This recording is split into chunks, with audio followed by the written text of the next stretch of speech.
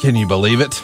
It's finally here. It's the most wonderful time of the year, unless you get stressed out about how to pay for it. SaveWithConrad.com can help you make this the best Christmas ever. You won't make a house payment for the next two months. That's right, skip your next two house payments and use all that cash for your extra holiday expenses. And come next year, you're going to have a lower monthly payment. Don't put Christmas on a credit card. Pay your credit card debt off at SaveWithConrad.com. NMLS number 65084, Equal Housing Lender. SaveWithConrad.com.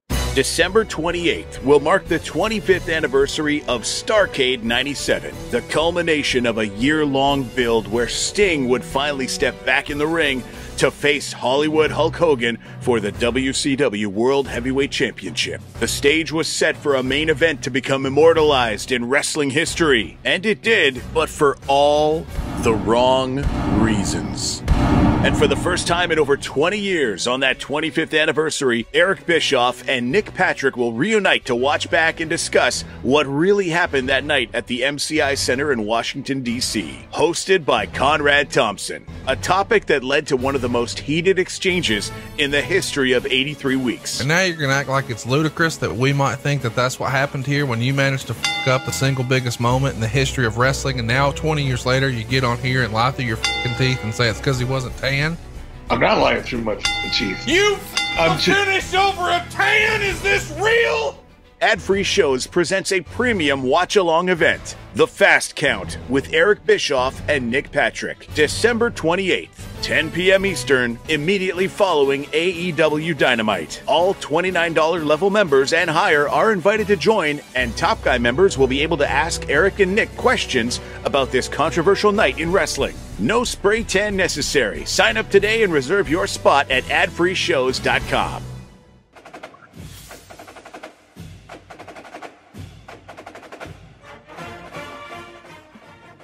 Hey, hey, it's Conrad Thompson, and you're listening to Grilling JR with the voice of wrestling, Mr. Jim Ross. Jim, how are you, man? I'm good, Connie. Thanks for asking. How you doing today?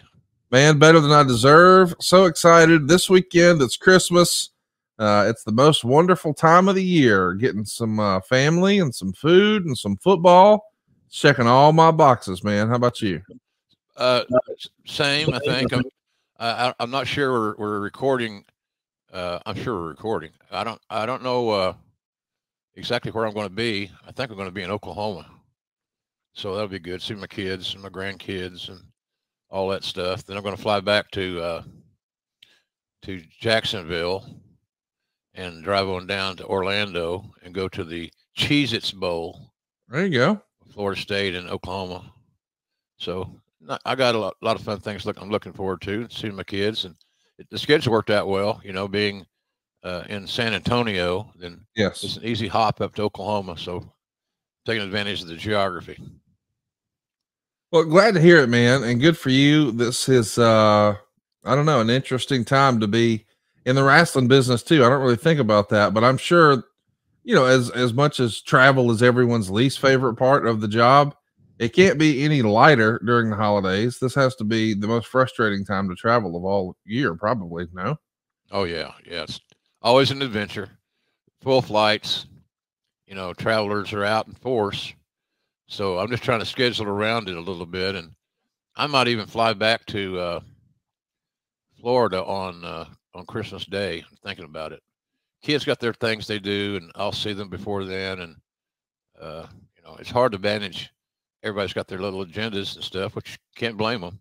So it's it's going to be fine. It's going to be a good holiday, and seeing my kids is always fun. Hear their tales of, woe and fun, and so it's good. It's good. I'm a lucky guy. I'm a real lucky guy, and my legs getting better, which is good. oh, good, that's awesome. People seem to have an interest in that, which they should. After my God, it's getting ad nauseum. I'm tired of talking about it, but uh, it is healing.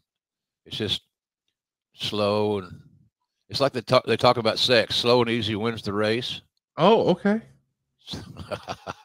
so something like that. I don't know. Something like that. So it's all good, man. It's all good. We got an interesting topic here today. Very complex guy. We're going to talk about Bill Goldberg. So it's uh should be a fun little show. I don't know if we're going to unpack anything that uh, people don't know, but pr- probably oh, we always stumble across something. Yes, we do. Yes, we do. Well, I appreciate everybody tuning in today. I hope everybody's ready for a big Christmas. let's jump in to the man of the hour, Mr. Bill Goldberg. We're covering Goldberg because uh, in just a few days he's going to turn 56. December Hard- 27th being his birthday. And Hard to believe.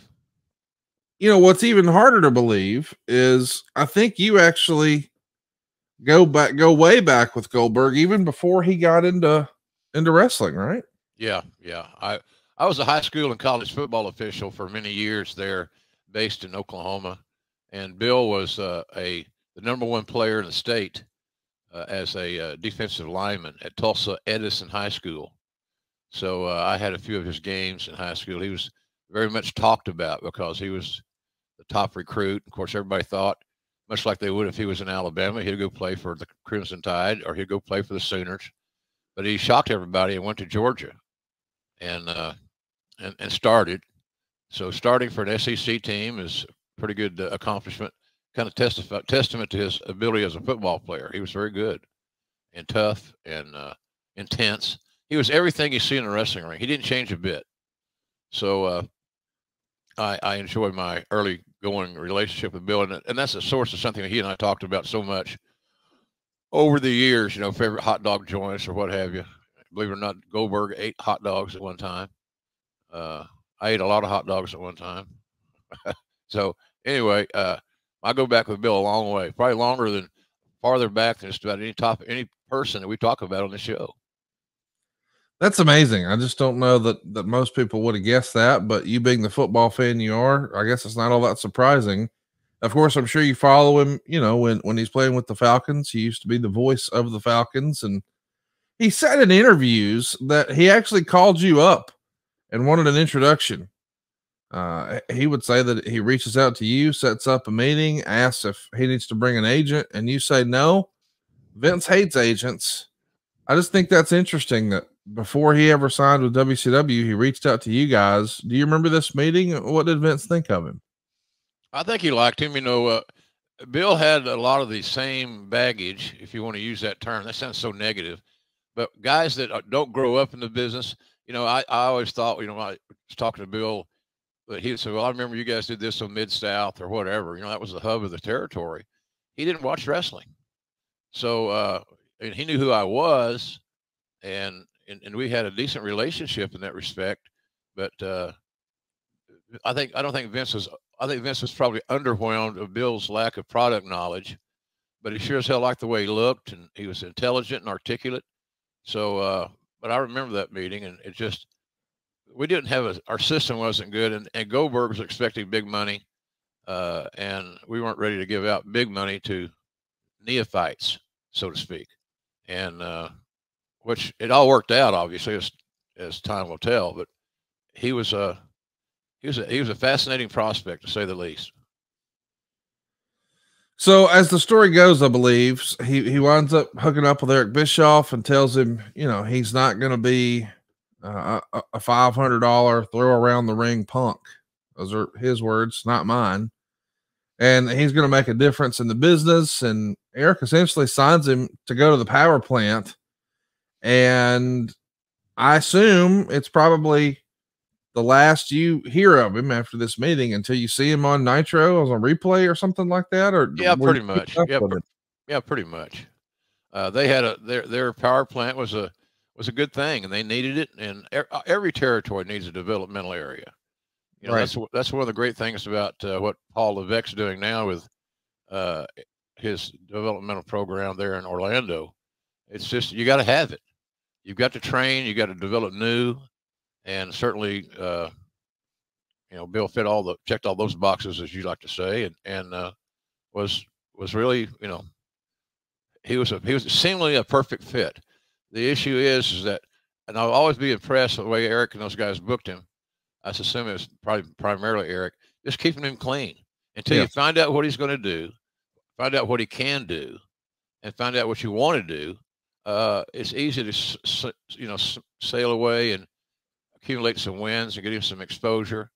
And uh, lo and behold, from almost day one, Conrad, if you recall back, because I know you're a Nitro guy uh, back in the day, I was a little bit busy when they were airing, but nonetheless, uh, I, I, I just he he was booked right. Right. He, he was booked right, and that undefeated streak was uh, it worked. As simplistic as it sounds, or old school as it sounds, uh, it worked. I um I can't help but wonder since you guys had this initial meeting with him when you clearly take notice of what they're doing with him and, and see that hey this is working does it feel like one slipped through your fingers or does that even cross your mind? No not really. It didn't cross my mind uh, but there was a sense of that. Yeah I, I because i was familiar with his athleticism and his uh, bill's body of work which did not include pro wrestling it included included big time college football. You know, uh, I know you're a SEC guy. And I soon will be an SEC guy as Oklahoma moves into the Southeast Conference uh, coming soon. I don't know if it's next year or the year after. Seems like nobody really knows. I know. I know this. I'm going to. My friend uh, Wallace Marsh and I, Wallace and I share a suite at Oklahoma, and because illness and my issues and so forth, I went to one game this year, which I just just breaks my heart. But uh, we made a commitment to each other this week. We're going to go. We're going to take the SEC by storm. Uh, Wallace and I. He's an oil man, and he's going to lease a plane, and we're going to go to as many OU SEC games as we can get to. And knowing Wallace, that'll be pretty much all of them. So I'm going to have a very unique year next year, or this this coming football season, uh, with. Uh, I'm going to be to some towns I've not been in. You know, I, I have been at the Grove and Mm. I've been, I'm, I'm, coming to Alabama when Oklahoma plays, obviously, all those type things. So it's uh, we're, I'm looking forward to it. But Bill, you kind of felt like you missed him. I mean, you missed one, especially as time went on. As right. time went on, you sure as hell felt that way.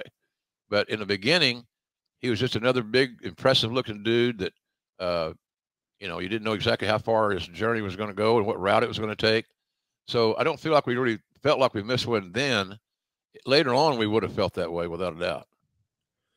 So of course we know he's going to go on to be one of the biggest, most important drawing cards for WCW, and then eventually all good things come to an end.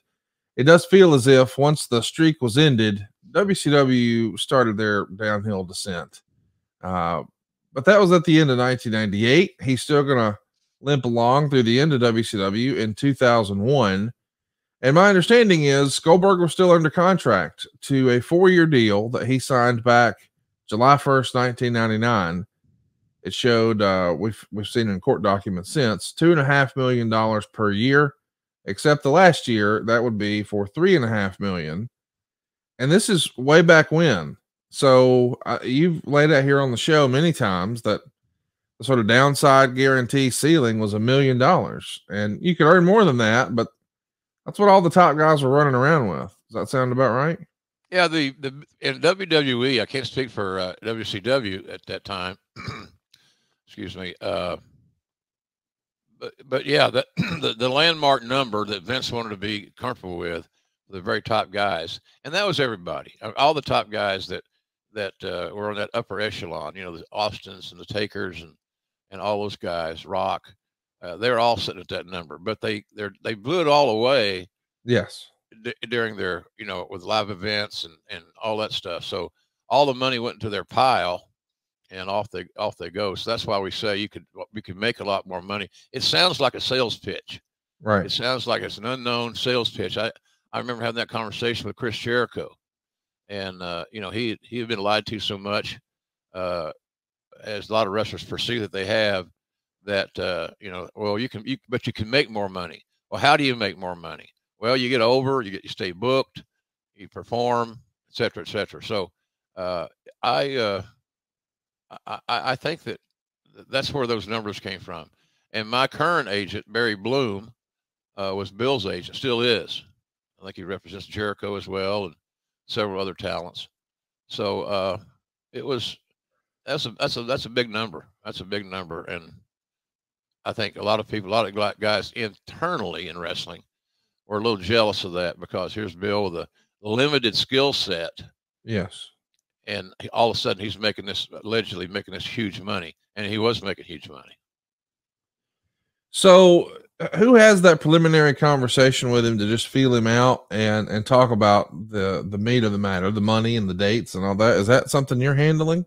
Well, I'm involved in it. Yeah, I'm involved in it because I got along with Bill and we communicated well. so uh, yeah, I, I was I was in that loop, uh, and it's just I didn't think it was going to be hard to get a deal done. You know, I, I, had I had parameters and guidelines that I could adhere to, or, or I should adhere to, and uh, that was how that started sailing. It was a, quite an interesting little journey. So, as far as you recall, you reach out to him, he doesn't reach out to you, or and he directs you to an agent, or what's that process look like? Well, I knew he was working with Barry. Yeah, and Barry is no stranger to anybody. You know, he represented so many different guys over the years that, uh, and I negotiated with Barry on a lot of contracts. Ironically, now he represents me. Right. So, uh, so if I do another contract somewhere down the road, uh, he'll be the guy that does the the negotiations. Pardon me. So, it's uh, it was a really a. I, I didn't have any. I don't remember Conrad any negativity about the negotiations. Uh, so really no surprises and nothing really came up. It was just we knew it was going to be a big money deal and and and, and it was.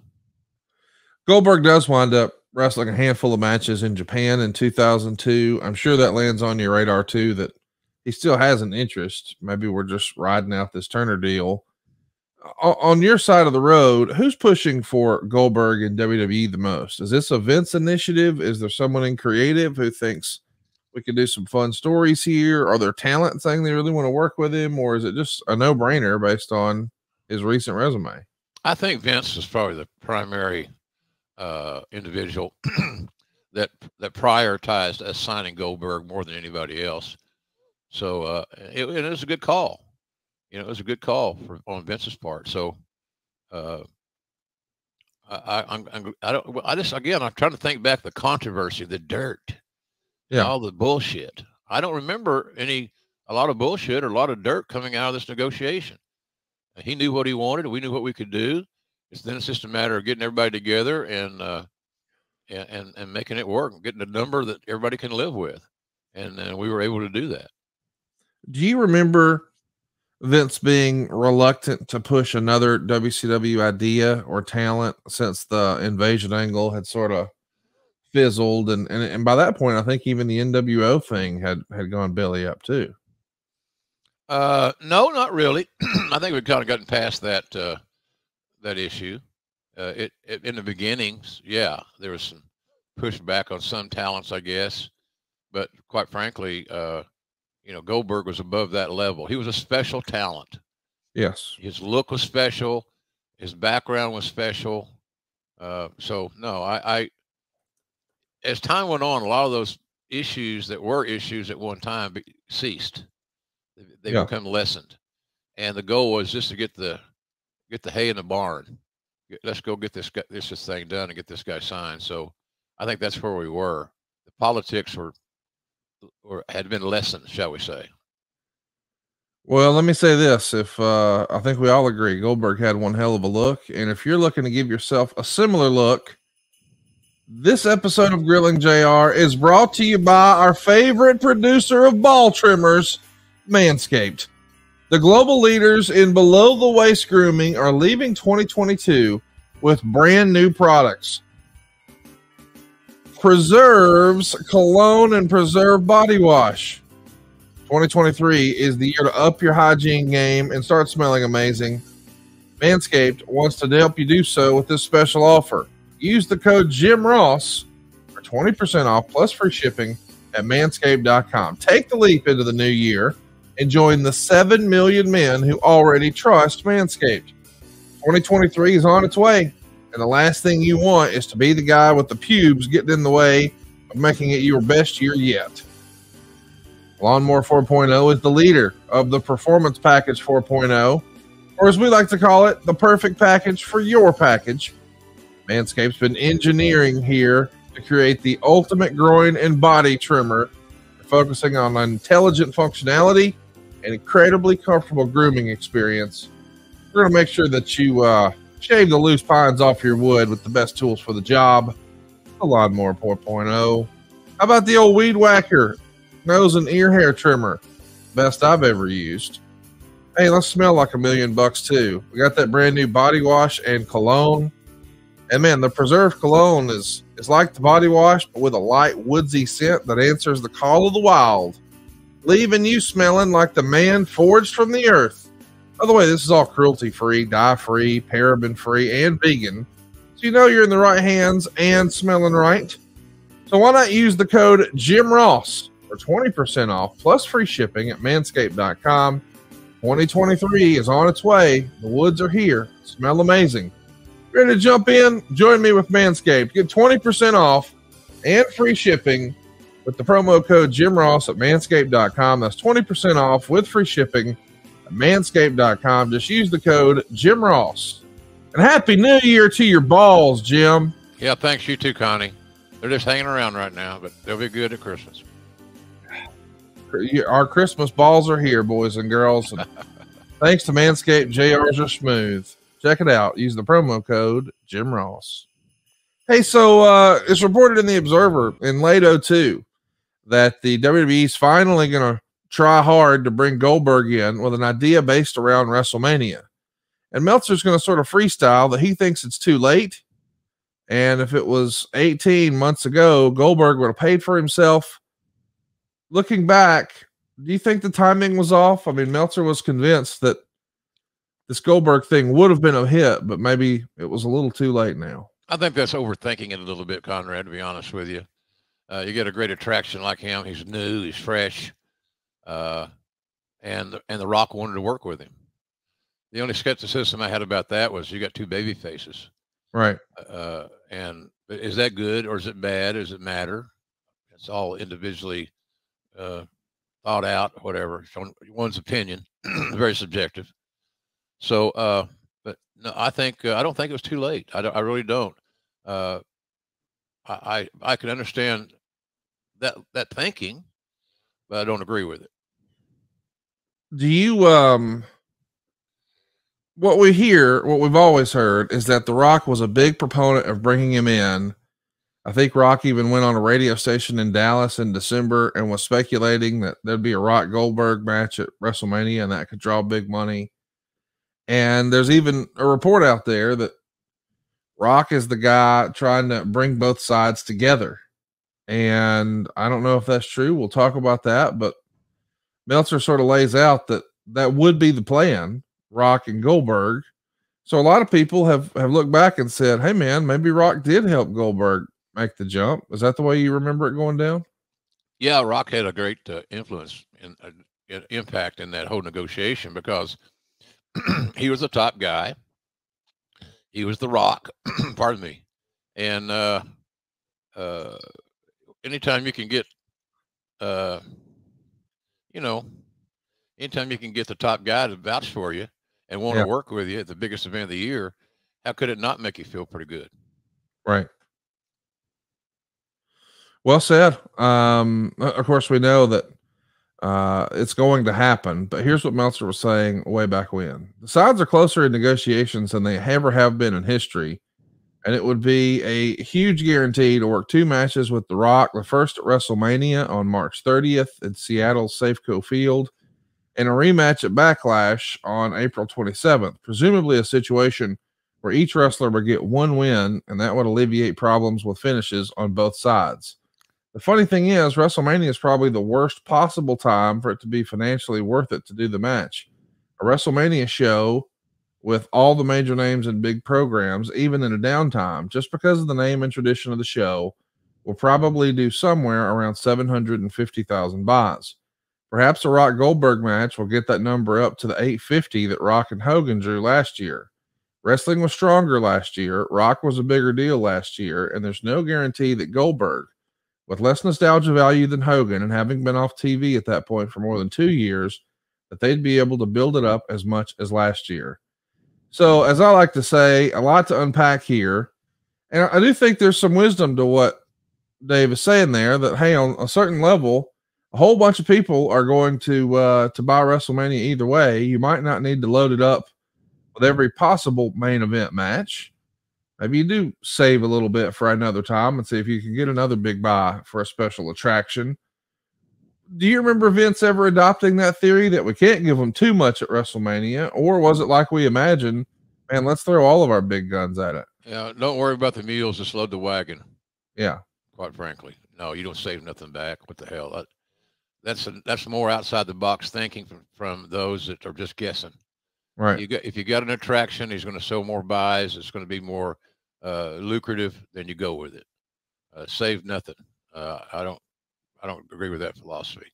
You go with it and uh, and build from it. So that's what we try to do: grow with it, build from it, and uh, and deliver a hell of a, a attractive, very marketable main event.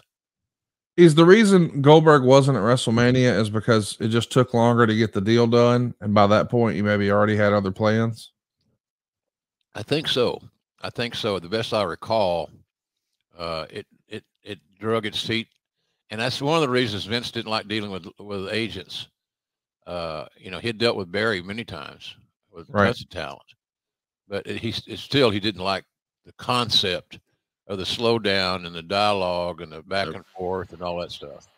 So uh, I that was that was the issue. Just it just it got cumbersome until you get comfortable with somebody you're negotiating with. Uh, it- it- sometimes it's just it seems like you're just standing in in deep water and you're not making much progress. We finally made the progress we needed and and made the, the talent happy and company happy. So for me, I did my job. I thought you know that we did what we needed to do to get the match in the ring, as they say. Well, we know what's going to happen, and it's just fascinating to me to think that you know if it would have been Goldberg and, and The Rock at that WrestleMania, where would that have left Austin? Because as we recall, that winds up being Austin's last match, and I, it would be hard for me to imagine him doing that with with almost any other opponent. So I'm glad it wound up working out the way it did. Yeah. Um, I mean, I, I can't even come up with a good answer for who Austin would have wrestled in his last match if that wasn't the last. Well, there was only one option, Conrad. yeah, I- this is a case where we're overthinking it, in- all due respect. The, the rubber Austin owed Rock a win, and he was hell bent on on delivering it. That's an old school way of looking at it. Austin had been had won two WrestleMania matches with uh, you know 17 and 19, or excuse me, uh, what was it, fifteen and seventeen. Yeah, Yeah, two of them. And he, he felt like he owed Rock that return because number one, the Steve's health was deteriorating, as we all know, it's well documented. Uh, and you know, the night before that, he had his health calamity. So uh, we we were, but there's no other match that we thought about uh, doing. And, uh, what are you going to do with so and so?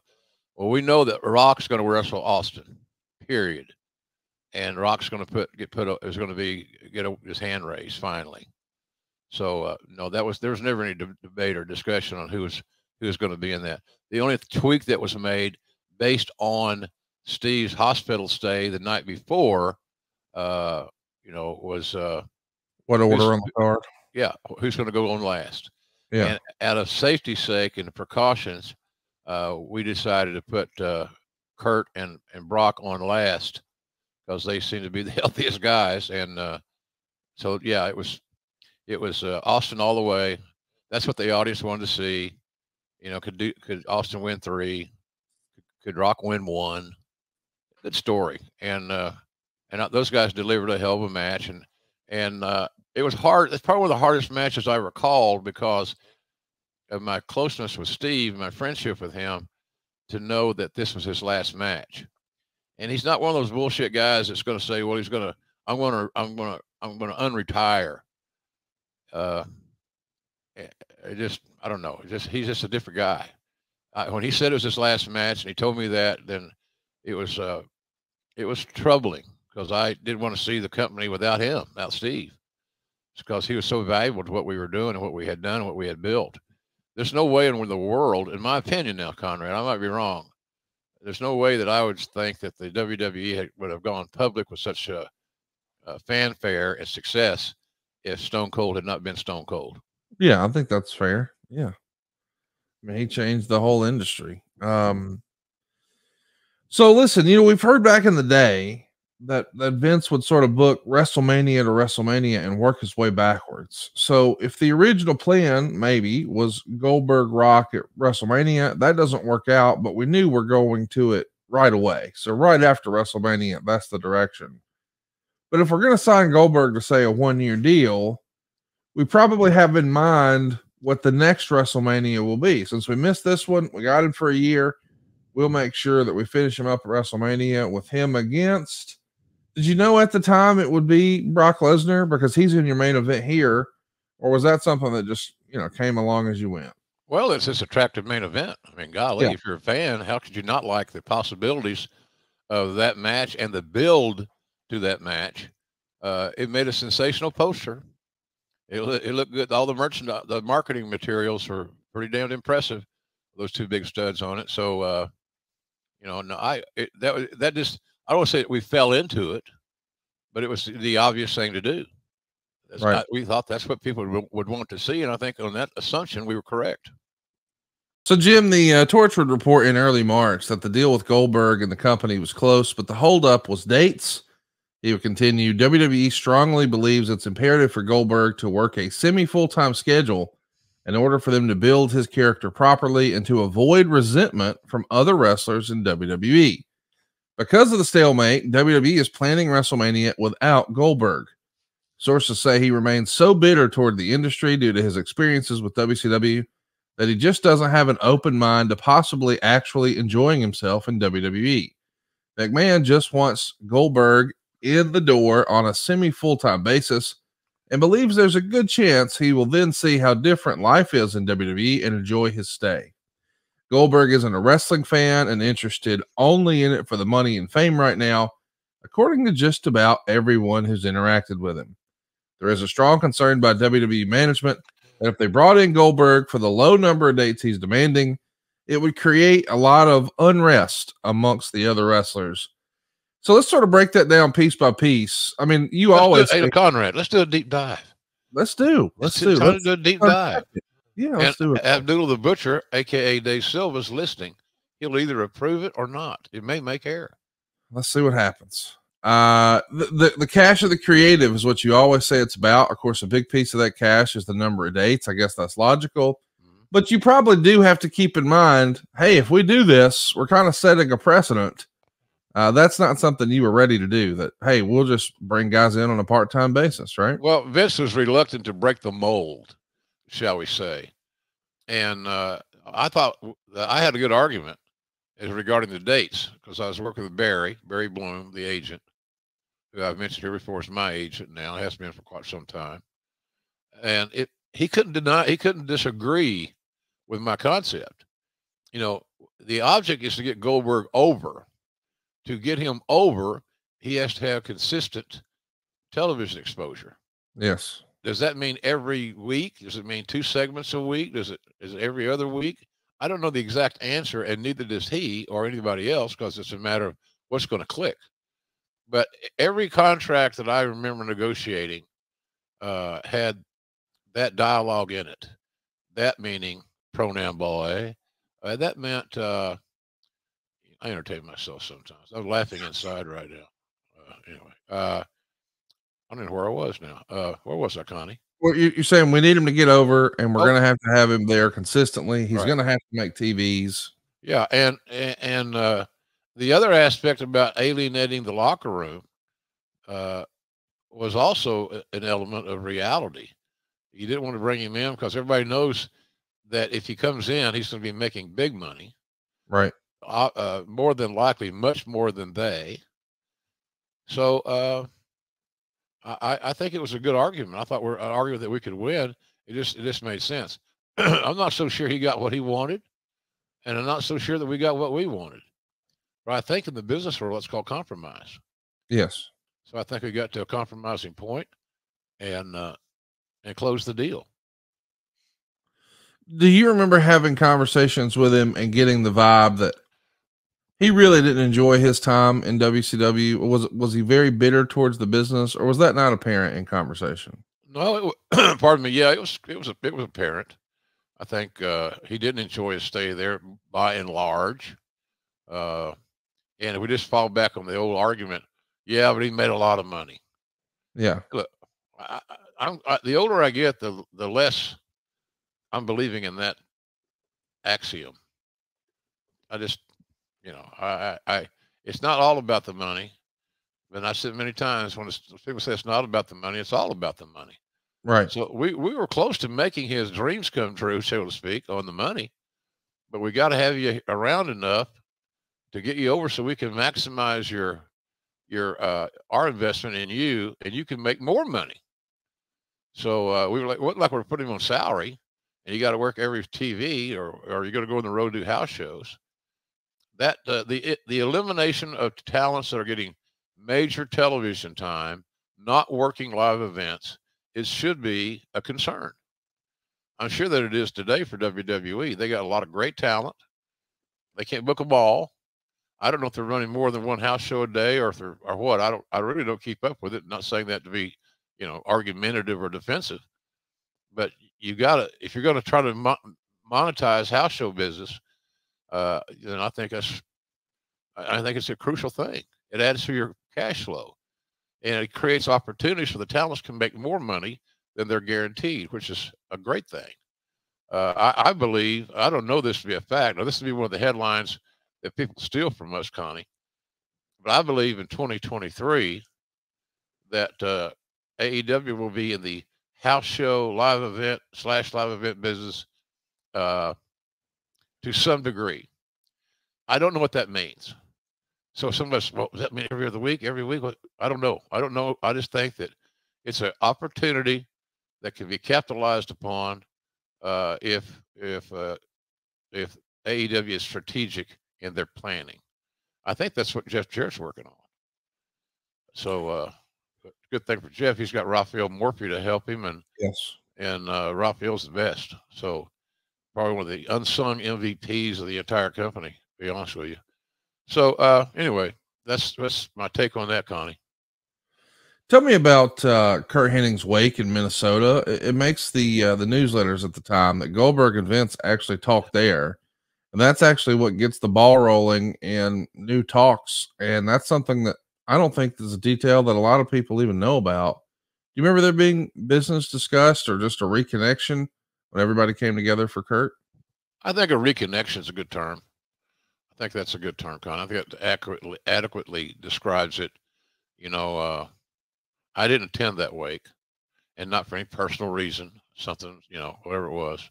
Somebody's got to stay back at the house and answer the phone, I guess. Uh, and I like Curt. He was funny as hell. He just he never grew up. And what a talent! Golly, what a talent! And I had I had fun working broadcasting with him. He was very good. He took he learned a lot from Heenan because he grew up watching Heenan in the AWA. So there are little bitty elements of Bobby Heenan and Kurt Angle's, Kurt Angle, excuse me, Curt Hennig's uh, game of announcing. But that that's a the, the a funeral, wake, whatever, is much like a wedding, in as much as that you kind of lower your guard, mm-hmm. and you and you get out behind the curtain, step out, and uh, and and share what you feel. Uh, maybe it's happiness, maybe it's you know whatever but in, in, in, in this case, of course, they're, they're grieving.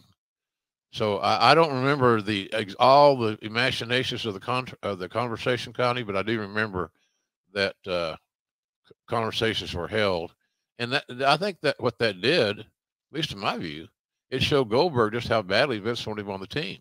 Right. Do you remember there being any pushback from other folks on the roster, people who have, you know, their own opinion of Goldberg, or maybe they didn't have the best experience with him? I mean, we've heard before when it came time to talk about the NWO joining the organization that there maybe was some hesitation about bringing Hulk Hogan back or having Kevin Nash and Scott Hall back in the locker room and that sort of thing. Does that exist for Goldberg as best as you can remember? Uh, probably not as uh, in, as much volume because talking about the NWO guys, there are three of them. So it's whatever angst you have times 3 mm-hmm. uh, Goldberg was a single entity, not known to be overly social, uh, but but a, a, a, good guy to shoot the breeze with, and you know he likes sports and cars and uh, you know just a guy stuff.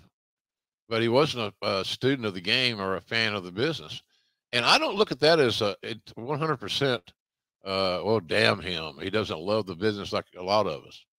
Uh, look, it's it's all about it's it's all about how much money you can make. The living, so it's a job. And so all Goldberg wanted to do is maximize his opportunities, maximize his minutes.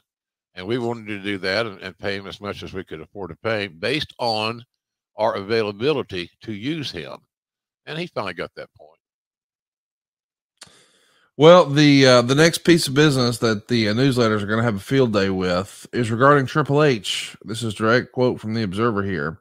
As many know, there's a lot of legit heat between the two. It stemmed from a radio interview Triple H did when the promotional war heated up, and Goldberg was just about the hottest thing in wrestling, except for Steve Austin. When asked about Goldberg, Triple H said he didn't think the WWF would even want him, pointing out his flaws. Goldberg confronted Triple H. He was with Stephanie McMahon at a toy fair sometime later and caused a major scene, basically calling him out to fight while Triple H ignored him. It was not a stellar moment for anyone involved. I think this happened back in the year 2000. Do you remember hearing about this way back when? Vaguely. Just more wrestling bullshit. Let it go. Yeah. Let it go. I mean, it's not worth spending a lot of uh, time on it, in my view. I had plenty to say grace over.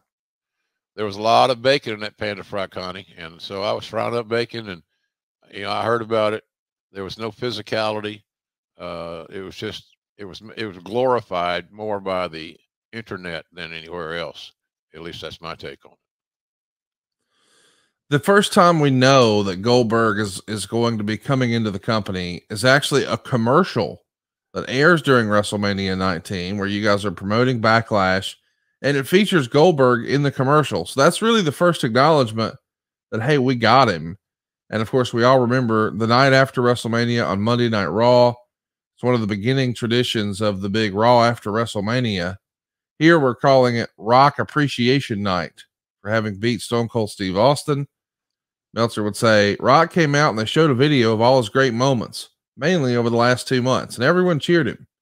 He had to turn on the crowd, but he does so in such a way that nobody really buys it.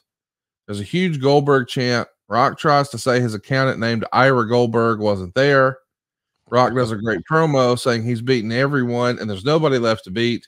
So he's retiring because he came back to entertain the fans and they booed him. And then Goldberg shows up to a monster pop Although the first pops for unannounced surprises mean nothing these days, because I just saw D'Lo Brown get one. Goldberg came to the ring and speared Rock. Rock was too close to him, so he didn't get any momentum into the spear. But Rock made it work by selling it like he was broken in half. So let's talk about the creative here for the way we introduce Goldberg. You know, on the one hand, we're, we're letting him brush up against the Rock, so how critical of it can we really be? On the yeah. second hand, you got your biggest audience, maybe of the year on pay per view, and you want to make sure that they don't just order WrestleMania. They check out Monday Night Raw tomorrow. I'm sure that's the thinking in putting Goldberg in the Backlash commercial. But if you had it to do over again, do you think this was his highest and best use, or was there a pivot that could have made it more impactful? I think anytime that you can do a significant and recognizable uh, rub with a rock is a win. And we could think about it and or and re, rehash it. Well, what if we'd done this? What if we'd have done that? Well, what could we? You could have done this. Yeah, you, you could have done a lot of shit in hindsight. A lot of stuff could be done in hindsight. But I, anytime you can you can rub up against D- Dwayne, and because uh, you know, we're close, I you know I call it Dwayne. Y'all are tight. I know. Oh God, tighter. We're closer. Nineteen is to twenty. Oh wow. Yeah. So uh, I, I think I, I, I, it can be reevaluated. Any creative can be relooked at and say, well, what if we did this? What if we had done that? Well, uh, I, I just think that the winning combination is Goldberg getting to rub against uh, The Rock, and to me, that's a that's a win. Does it almost feel kind of bittersweet to you? I mean, listen, I know, you know, on some level, this is everybody's job and you just got to go do your job. And I get that. But the night before is sort of like the swan song for Stone Cold Steve Austin. And now here the next night on Raw, we've got the debut of Goldberg. It feels like uh times they are changing here in the organization.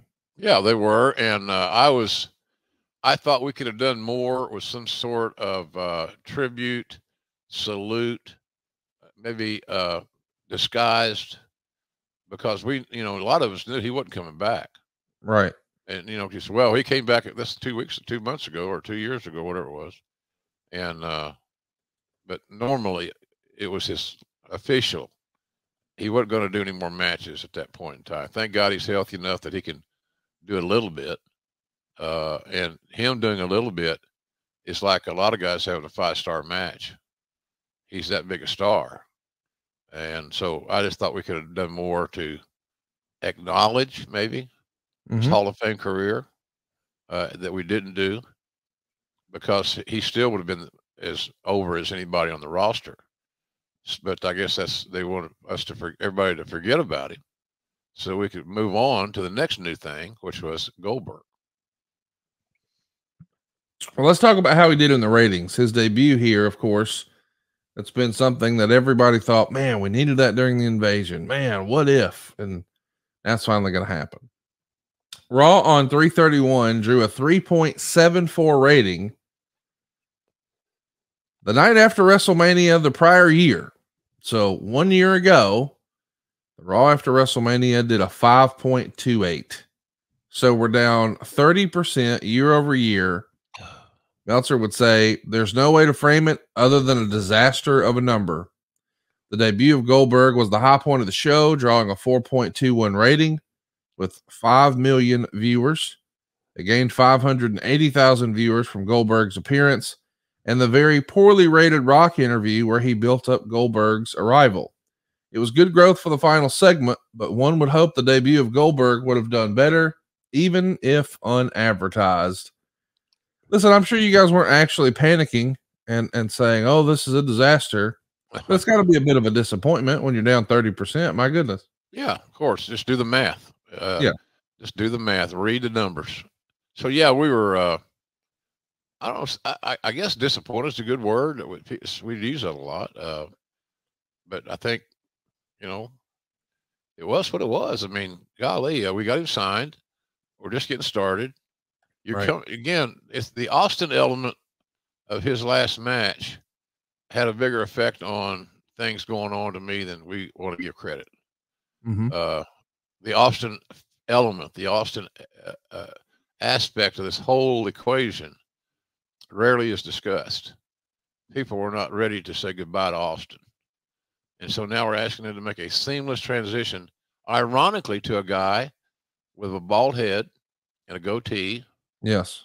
Uh, you know, it's like, I, I, don't know. I, I I think that uh, that's a bigger issue than than we've been acknowledged somewhat. Not you and me, but just in general. So, uh, but yeah, I guess disappointment's a good word. You know, disappointing. Uh, but it wasn't a bad rating for what we were doing at, at times. But still, again, I, I I refer back to this. eh, We were just getting started, and hopefully uh, everything was going to evolve and grow. Goldberg was going to get over. Uh, the, the situation he and Rock was going to be intri- intriguing enough to get people to tune in. Mm-hmm. So again, if you look at it that way, it's easier to keep your sanity as a talent relations head. Right. Do you, so do you remember because we all know about well the idiosyncrasies that exist with Vince McMahon, and sometimes he'll just sour on something, and it's really hard to get him to change his mind. Right. When the rating comes out and it's a disaster based on what it was a year prior, because a lot of people I'm sure thought, man, this is our last big WCW acquisition. Here we go. Do you think he's behind the eight ball right away because it wasn't a ratings bonanza? It wasn't a success. Well, he wouldn't. Have, he would not have admitted that. But I don't know. We're behind the eight ball. I think that's drastic. Yeah. He made one appearance, Connie. He's on one show, and I guess that was all in one segment, correct? Yes. So I don't know how we make a final judgment and you know stand up and stand and shout on uh, a segment. Right. Could sh- did we want it to have a bigger rating? Of course. You can say that about the other ten segments on the show. Sure. It's just, I just think that sometimes it's easier to make too much of a. It was like a one-off. How's he going to do? It wasn't a one-off, but You know what I'm saying? We just did one. We it, we just got out of the blocks. So it was too early to tell how great it was going to be or not great at all. Well, I'll tell you what is great, and that's BetterHelp. Um, we want to make sure that we remind everybody that today's episode is brought to you by BetterHelp. They're sponsoring our program, and Ben is to bring you such a great opportunity to really take control of your life. Relationships take work, and a lot of us will drop anything to help someone we care about. We'll go out of our way to treat other people well but how often do we give ourselves the same treatment? As a reminder, this podcast is sponsored by BetterHelp Online Therapy. And this month, BetterHelp Online Therapy wants to remind you to take care of your most important relationship, the one you have with yourself. Whether it's hitting the gym, making time for your haircut, or even trying therapy, you are your greatest asset. So invest the time and effort into yourself like you do for other people and that's easier said than done sometimes. You know, I uh I needed some help back in 2006. I had a relationship come to an end and I wasn't really sure like, hey man, how do I process this? And it was easier to talk to a stranger, a trained professional, than just one of my friends or family members. And I felt a lot better.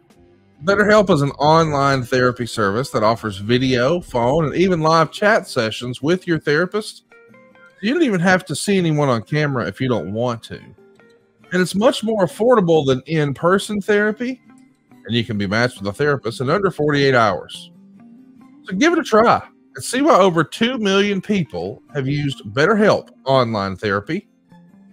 This podcast is sponsored by BetterHelp and Grilling JR with Jim Ross listeners get 10% off their first month at betterhelp.com slash JR. That's betterhelp.com slash JR, B E T T E R H E L P dot com slash JR. And Jim, it's uh it's helpful to sort of organize your thoughts. Oh, without get, a doubt. I know some people are probably giggling. Well, I'd never do that. Well, check your man card at the door, step into reality, and experience what can happen when you're uh, honest with yourself. Man, there's there's if this is around I was aware of it, Conrad, uh, back in the day when after after I lost Jan. Uh, that's a source I'd have, I'd have sought out. Yeah. You know, somehow or another, I've gone through it by myself and worked it out by staying positive, staying busy, doing the work that I love. And, but yeah, man, this is a, hey, try it. Maybe after one visit, you're going to feel a hell, hell of a lot better and say, man, I'm on to something. I should have done this a long time ago. I think you'll have that same sentiment uh, if you if you give uh, BetterHelp a try. BetterHelp.com forward slash JR. So let's talk about uh, Rock and, and Goldberg sort of getting married together uh, because clearly that's the next feud here. April 7th, there's a Raw in Milwaukee, and Meltzer would have this to say.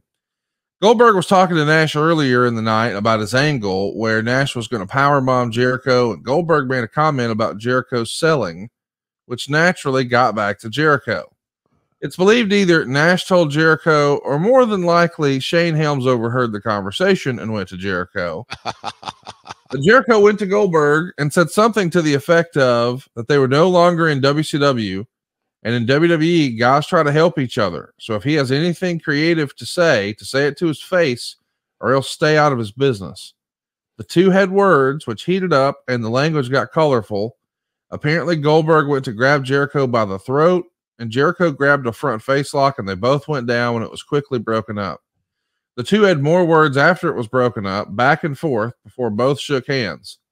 In some circles, Jericho is kind of a locker room hero since Goldberg is the outsider, and there's this natural resentment for him getting such a great deal and starting out on top, having never paid his dues. Plus, Jericho stood up to a guy who's probably a good six inches taller and 55 pounds heavier than he is. So here we are, man. I mean, we're just a couple of weeks into this deal, and we've already got some personal backstage issues. As the guy who's in trouble, or not in trouble, in charge rather, of running all of this. Are you Is this a, a long day at the office? What do you remember about Oh, this? of course it is. It's another long day at the office. I uh, ha- happened, uh, you know, y- y- uh, the word travels fast in, in the locker room, and along the way, those words are always embellished. It's always more extreme than it really was. Uh, I walked in to the locker room. Don't remember what uh, city we were in, but it was a big, uh, big ass locker room, bigger than normal. I walked in just as Jericho was applying the front face lock. Hmm. So I was an eyewitness. And uh, Jericho was like a uh, pit bull. He just was relentless. He wasn't going to let go. You know, sooner than later, you, you, the, the other guy passes out. Right. You restrict the flow of blood to the brain, the oxygen is deprived, night nighty night. And uh, it's got the same effects as a, if you're an MMA fan as a rear naked choke. You just you lose your senses and and there you go. So they got they, we broke them up and uh, the talents were there to you know obviously I didn't step in and physically push them aside, but I certainly did my share of uh, encouragement to stop this stupid shit and uh, they did. And so, uh, but I think Jericho kind of notched his gun a little bit in that in that scenario, and it didn't do Goldberg any favors. Right. He was a heel before the little uh, dust up, and he was a bigger heel when it was over with the talent. So uh, it was a interesting day. Yeah, interesting day at the office is to, is a good way of describing it. How does Vince? I mean, what's his take on this? Clearly, he wants a harmonious locker room, but if there is quote unquote competition, sometimes that's not bad for business. No, Does he like when talent are a little on edge like this, or is Yes. this just taking it too far? Uh, no, he likes it. Okay. You you mentioned that word harmonious locker room. That was always one of my uh my things. You know, I, I looked at managing this talent roster like a sports team, and you want your team to be unified and supportive of each other. It's a team game, unless somebody figures out how to go out and wrestle by themselves uh, with the invisible opponent. And I know that's been tried. It's still hideous. So uh, I think he liked the competition. I I liked I love the competition personally. I did, but I thought we could do it in a more harmonious way. Visa letting it go all the way to the to physicality. So uh, the competition is great uh, uh, in in the locker room. I don't know how it's handling WWE now. I haven't been there in years, but uh, I think that's something AEW. I, I encourage those guys all the time. Go with ideas, stay hungry, contribute to. If you have an issue, it's real easy to be a problem identifier. It's not as easy to be a problem solver. So, for your your own benefit, you're an independent contractor. Wouldn't it be to your advantage to contribute to your own creative, and hopefully Yeah. that one of those ideas sticks, and you get a chance to play it out? I say yes. So competition is good for the locker room, but you you like to bring harmonious with it, so they're not lonesome. Larry, uh, the story is going to take a big turn here. On the third night in this company, Meltzer would say, at 9:38 p.m. Eastern time on his third night with the company, they officially screwed up Goldberg's money-making opportunity by trying to make him Kurt Angle, not realizing it in spite of, not because of their portrayal of Angle. That he's that's where he's ended up. Raw was simply atrocious. Backstage, Jesse from Tough Enough 2 came in and told Goldberg that one of his relatives was there, and in pops Goldust. And someone actually thought that was funny. They exchanged pleasantries, future establishing Goldberg as quote unquote one of the boys, which is exactly what he should never be. No, Goldust got him a, a, a present, which was a blonde wig, and then put it on Goldberg's head. I hope Vince putting 1.5 million in cash in his incinerator is also funny because the end result of each was the same. Goldberg is dead as a draw. Wow. Judging from the ratings, he may have already been dead just because of the standard introduction, but there was a chance, and it's done now. I think Goldust soiled his pants to end the segment. And listen, when we take a look, if you're watching on YouTube, which is uh, Grilling JR on YouTube.com, you see Goldberg in this blonde wig. And this is a stark contrast from the presentation that made Goldberg a megastar throughout 1998. And that's kind of what we're hoping for when we bring a talent like this back. We want people to remember hey, remember when he was a badass? And then we present this look three weeks in. Well, we tried. What do you think of this execution and, and creative here? Embarrassingly bad. Uh, a more experienced uh, uh talent would not have allow- allowed his creator to go that direction. Right. I ask you this question: Would Stone Cold be in that same picture we showed just a second ago, with that long blonde wig? No. It would, and and as a matter of fact, nobody had the balls to even pitch something like that to Austin. Well, let me say this. We did see Austin in funny cowboy hats, but Yeah. when we were doing that, we weren't drawing money anymore. You Right. take a look at Stone Cold on top when he was the absolute tippy top draw. He wasn't doing the comedy bullshit. No, And, and and we we remember Goldberg as being this badass, and now we're trying to show the lighter side. Well, the reality is Kurt Angle can pull that off. It's in his character. He is a great comedic performer. right? But we can't just sort of paint by numbers. Goldberg's never going to be that, right? No, no, he's not. And I, it was just a bad idea. It's ill conceived and uh, it made no sense. I was embarrassed for Bill. Yeah. And, uh, and, you know, when he was shown on camera with that wig, it's like, what, you know, I'm thinking, I'm trying to look at the, at the glass half full. Right. I'm trying to think of, okay, well, maybe this will work because of blank. I couldn't fill in the blank. hmm made no sense to me. So uh, it it just was, it was just a soiled, as in shit the bed idea. Well, as if that wasn't enough, we're going to do the rock concert. Meltzer would say the crowd was very much into this loud Goldberg chants. Goldberg came out and was, or Gillberg came out and was really mocking Goldberg. The gimmick was The Rock thought Goldberg wasn't coming, but then he showed up. This was a hell of a segment until the conclusion. Goldberg ran through security and was throwing them around until The Rock laid him out with a rock bottom and left. Goldberg jogged slowly and unconvincingly after Rock, who took off in a Hummer limo. Goldberg got in his car and blew out his transmission, which wasn't supposed to happen. So he took off on foot. Boy, did that look dumb. Even dumber was Rock came back. So he not only beat Goldberg up, but he outsmarted him. And this thing is snake bit from the very jump here. Seems like it, doesn't it? I mean, when you take a look at it, we, we tease him at WrestleMania. The ratings are down for the actual debut. It's not quite the spear we were hoping for, but we we soldier on. The next week, we're in a fight with Chris Jericho behind the scenes, which is way more compelling than what we're seeing on camera. And a week after that, we're mocking him with Gillberg and a Goldust wig, and the car doesn't start. It seems like we're trying to run him off, doesn't it? It's like, man, Murphy's Law here. If it wasn't for bad luck, he'd have no luck at all. That's a good. Let's run a song. Let's do it.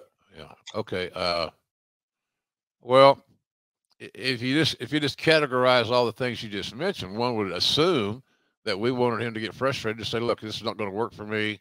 Let's work out something," and I'll just say adios. Right. It, that was not the plan.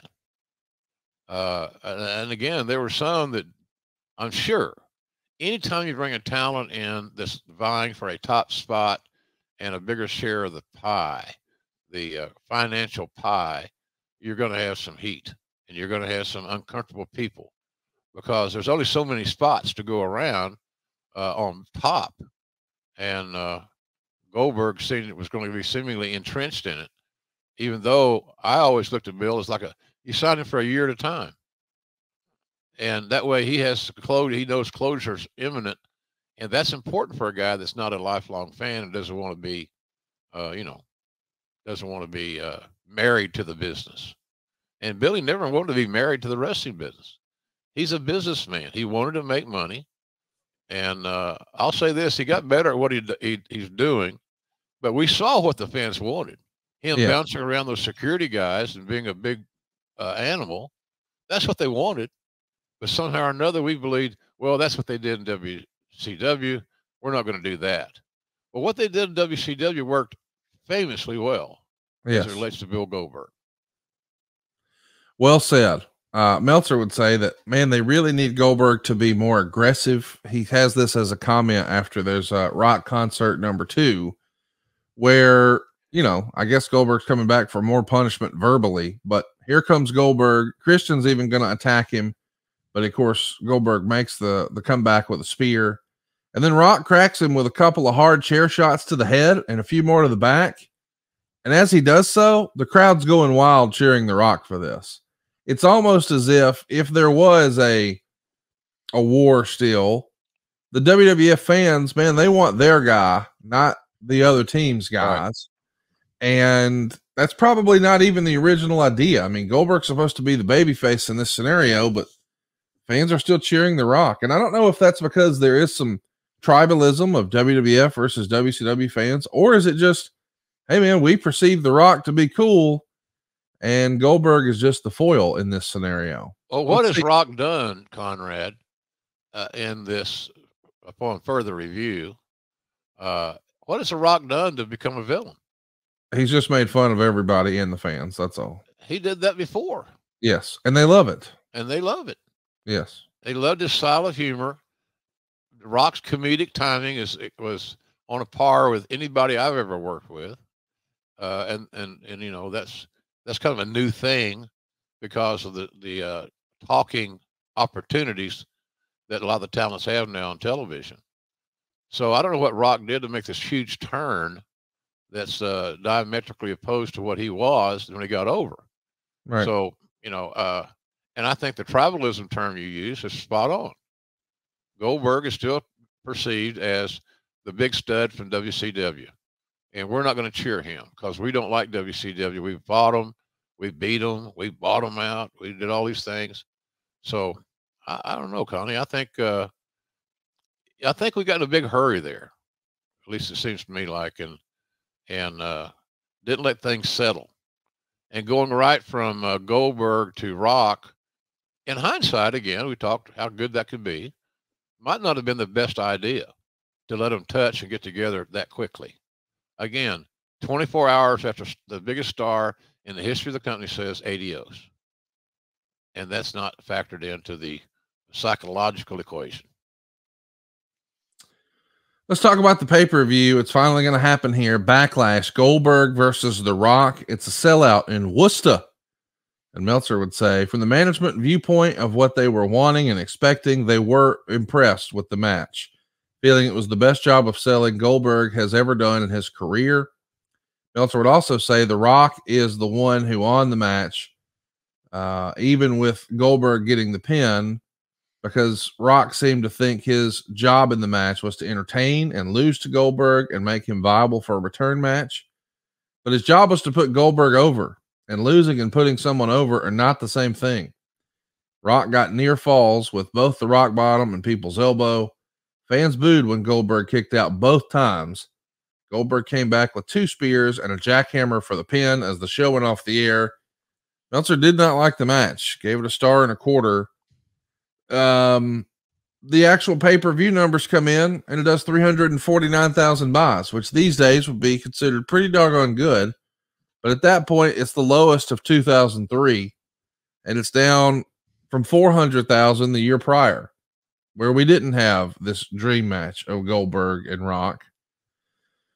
Man, this is not what we hoped for. It's the lowest buy rate of the year at this point. And I know we could say, well, one of those was Royal Rumble and one of those was WrestleMania, but it has to be somewhat of a disappointment. I mean, even No Way Out was a was a bigger bigger success financially, but still that was Hogan and Rock. I don't know, man. It doesn't feel like we're off to the, the start we all hope for. But the we, match we, itself- we weren't. uh, Yeah. We weren't on. We weren't off to the right st- the start we wanted. That's obvious. Yeah. That's obvious, Connie. Uh, you know, just you're right. It just wasn't what everybody wanted, but you know, we committed, and so let's go see if we can work this thing out and persevere. And maybe with a different opponent other than The Rock, Goldberg will get over as that massive baby face. You don't know until you try. Uh, a couple of things we, you, you mentioned that I believe are dangerous trends that we see uh, more often than we need to. And I don't know if the fans are going to agree with this or not, but and that's but that's their prerogative. You don't have to. And that is uh, uh, in a match, big match like this we're talking about with Goldberg and Rock. That Rock, that Goldberg, excuse me, Rock gets his finishes kicked out of, not once but twice. Yeah, I think that's stupid. It's a trend. You can think about uh, illustration versus illustration.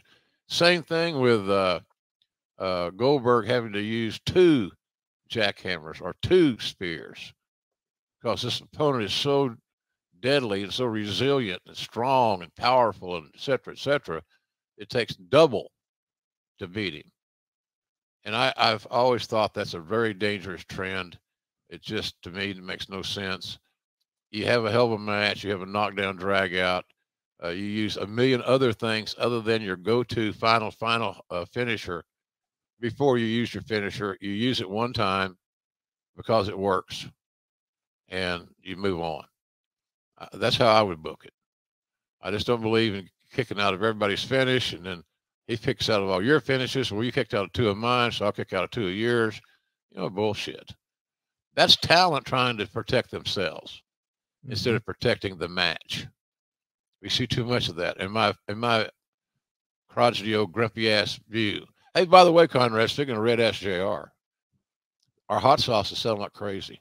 Oh yeah, jrsbbq.com. I love yeah. a little red ass JR. Oh man, it's uh it's better than I pardon me, it's better than I ever anticipated. I know it's a bad segue. Uh but uh, I'm very grateful. And uh, we're getting such good uh, feedback from it too and I'm going to send you some because I know you haven't. yeah, I know. I know Silva hasn't bought it. He's waiting for his coupon. Oh my goodness! Well, nobody needs a coupon. You're getting great deals every day over at jrsbbq.com. And of course, uh, the the main event right now is all about the hot sauce. But as for me and mine, we're rocking that seasoning. I had some the other day on some grilled chicken, and my wife liberally coated my side or my piece of chicken more than hers. Yeah. She didn't finish the last couple of bites of hers. She says, Hey, do you want the rest of my chicken? And the answer in my house is always, Yes, I want the rest of your chicken. Anyway, uh, dude, when you really heavy up the coat, which we haven't done before, it's a whole yeah. new experience. I love it. I think you will too. If you haven't already, check it out. And listen, I know a lot of times when folks order from jrsbbq.com, they're ordering to display it. They're ordering to throw it up on a shelf. And you see all the different product offerings there if you're watching over on YouTube. But we do have the brand new hot sauce. Don't just buy one bottle, buy two, one to put on a shelf, one to enjoy. And then, of course, you got the main event mustard, the Chipotle ketchup, two types of barbecue sauce. You got the beef jerky. And man, my favorite, I promise I'm not leading you wrong here. You got to try the all purpose seasoning. It's good on everything. And we mean everything your eggs, your pork, your chicken, your steak. It's a home run at jrsbbq.com. I mentioned before that my granddaughter said, said Hey, Grandpa, we found a new, uh, new way to use your seasoning. and I said, let me hear it. And they said on popcorn. So they they they uh, they seasoned the popcorn up with the all-purpose seasoning. The all-purpose seasoning originally st- started as a barbecue or smoking rub. And if you watch any of those TV shows where they show cooking demonstrations and so forth, a lot of real famous uh, uh, grillers, smokers, and so forth, uh, they they code it just like you're saying. It adds a little you know, it's more of the product on there. Of course, people say, well, JR I want you to use more so you buy more. Well, there's something to be said for that. That's truthful. But that's the old way of the old coating a piece of protein with uh, this dry rub seasoning is uh, is the way to go. It's just it just it makes a difference, and you discovered that, and I'm glad you shared it with us. Hey, by the way, I want to give everybody a pro tip too. Uh, if you're over at, at, at jrsbbq.com, you'll also see, and this is a real thing, they've even got JR's action figure over there. So if you've been looking for that and you want to go ahead and grab an action figure, you can, but you can do that maybe at any store. What about an autographed one? Jim Ross has autographed a whole bunch of his AEW action figures. They're available now. You can even get autographed trading cards. There's something for everybody at jrsbbq.com. So maybe it's too late for you to get it in time for Christmas with it just being a couple of days away here. But we all know that the Christmas celebration and the gift giving tradition continues through the new year. Go ahead and place these orders. And when you get together with some of your friends or family after the holiday, this will be awesome for the wrestling fan in your life. JRsBBQ.com.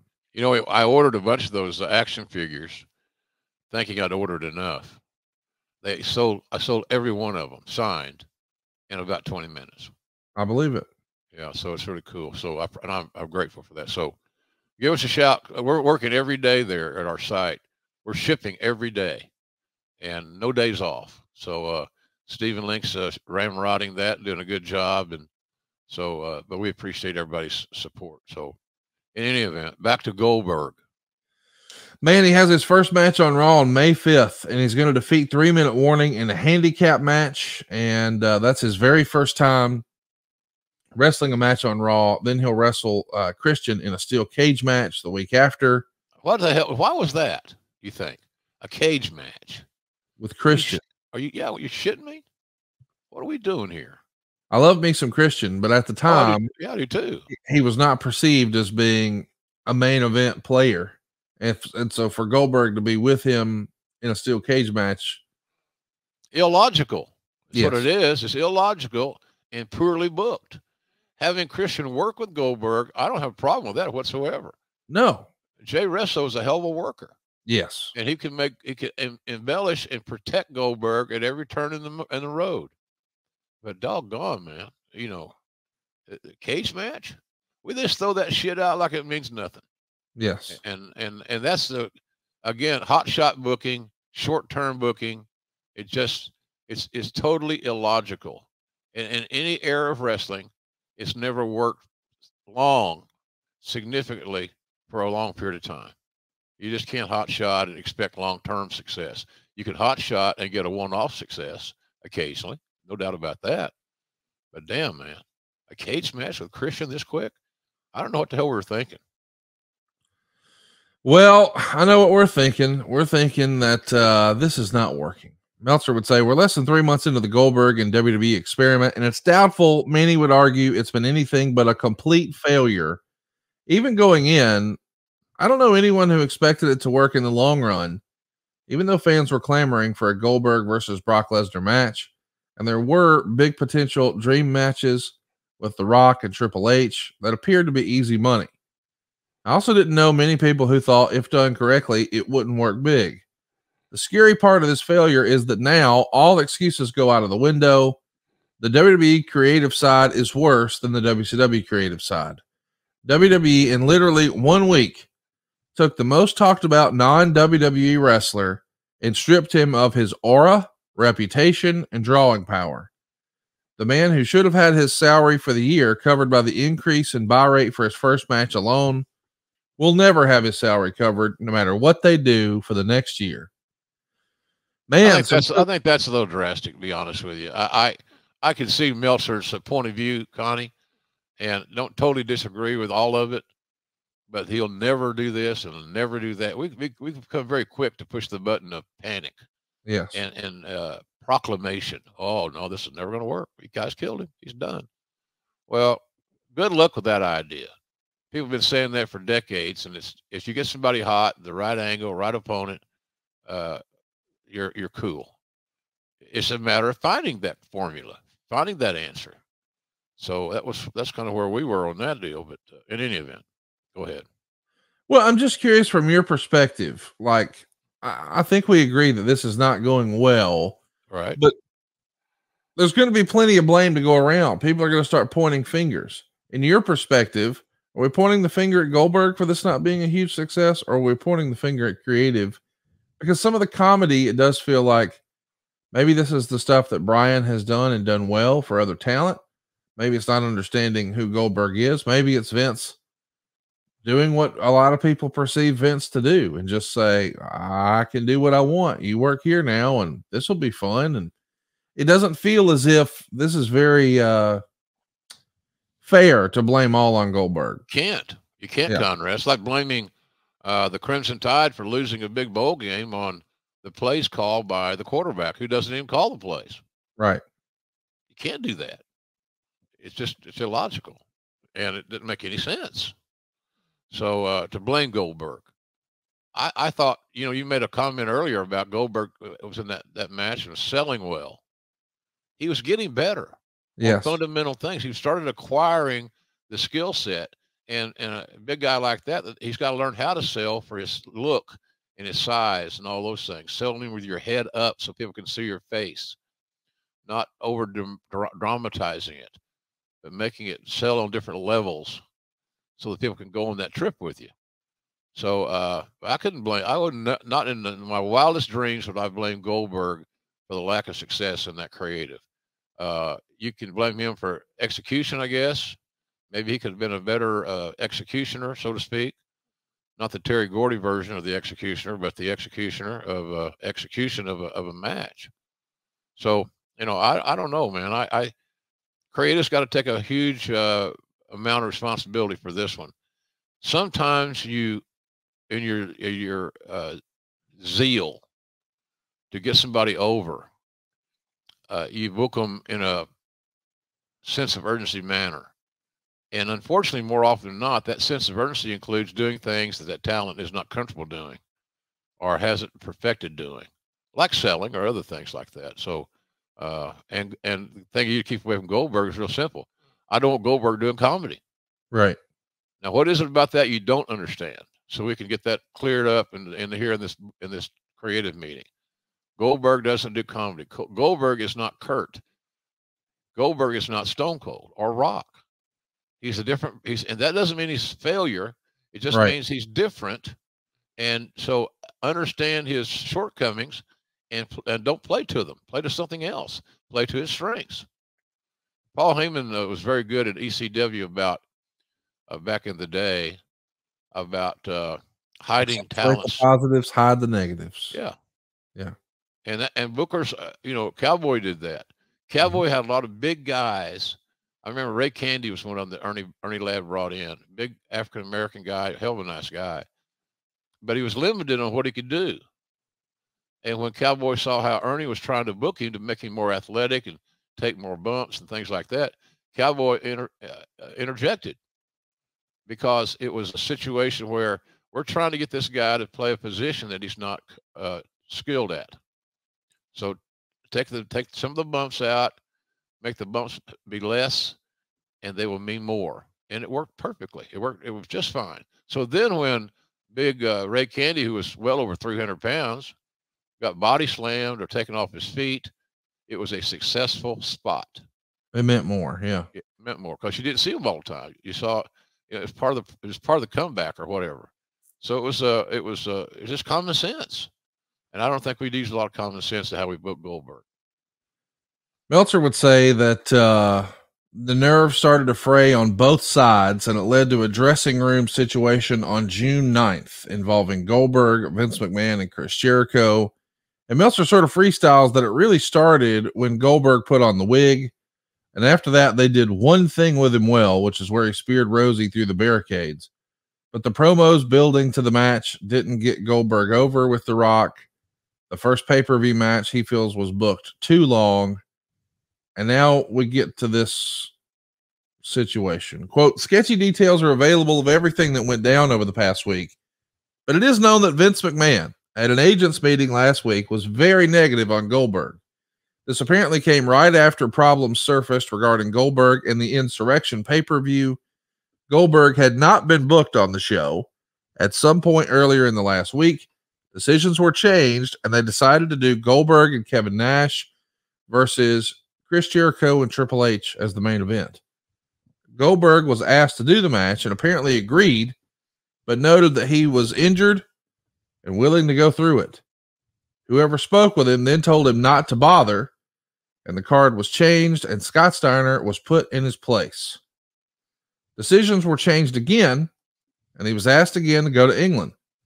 This time he was more negative about it, since he'd first been told he was being replaced. He ended up not going, which was part of the reason the card was changed five times in the last week. Whether this was done out of spite or stupidity, the script for Raw on June 9th was going to bury Goldberg before his match with Jericho. The original script was for Goldberg versus Rosey as an opener, ending with a spear and jackhammer in two minutes, which is what happened. And in the post match, Jericho was supposed to do something that would injure Goldberg's legitimately hurt right hand. The idea is they would go backstage, Goldberg would see a doctor who would tell him to go to the hospital rather than trying to stay for revenge on Jericho. And in totally bearing babyface psychology, Goldberg would then leave and go to the hospital. The plan was for him to return and do the interview with Terry as opposed to going after Jericho and then get laid out one more time by Jericho. When Goldberg showed up and got the script, he refused. All parties involved had to work out a compromise where Goldberg wouldn't look as bad.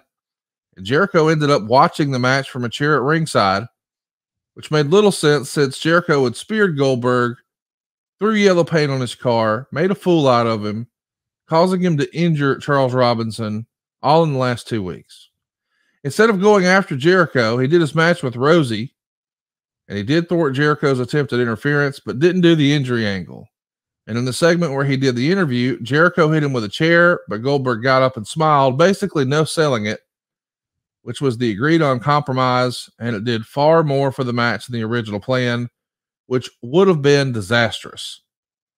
And the commotion backstage for all this was said to be significant enough that everyone knew about it. There's also a second issue as Jericho talked with Goldberg about their bad blood match. Apparently, there's an issue over the finish itself.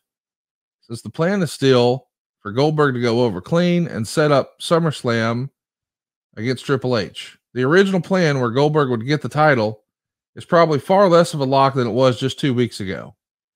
Apparently, in exchange for putting Goldberg over, Jericho wanted a kick out of the spear, noting that The Rock did it before falling victim to a second spear, followed by a jackhammer, and Goldberg refused, saying to Jericho something along the lines of, Well, you're not The Rock. Well, nobody will say so publicly. It does appear the company has given up on Goldberg and perhaps wishes it could get out of the deal. While Goldberg himself has done nothing out of the ordinary and at times has shown less fire than was needed, almost all the blame on this has to be put on creative.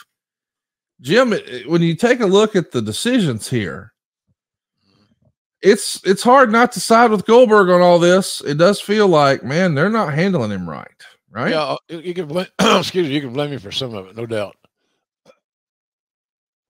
Uh, but all of it, obviously, no, not the majority, not even close.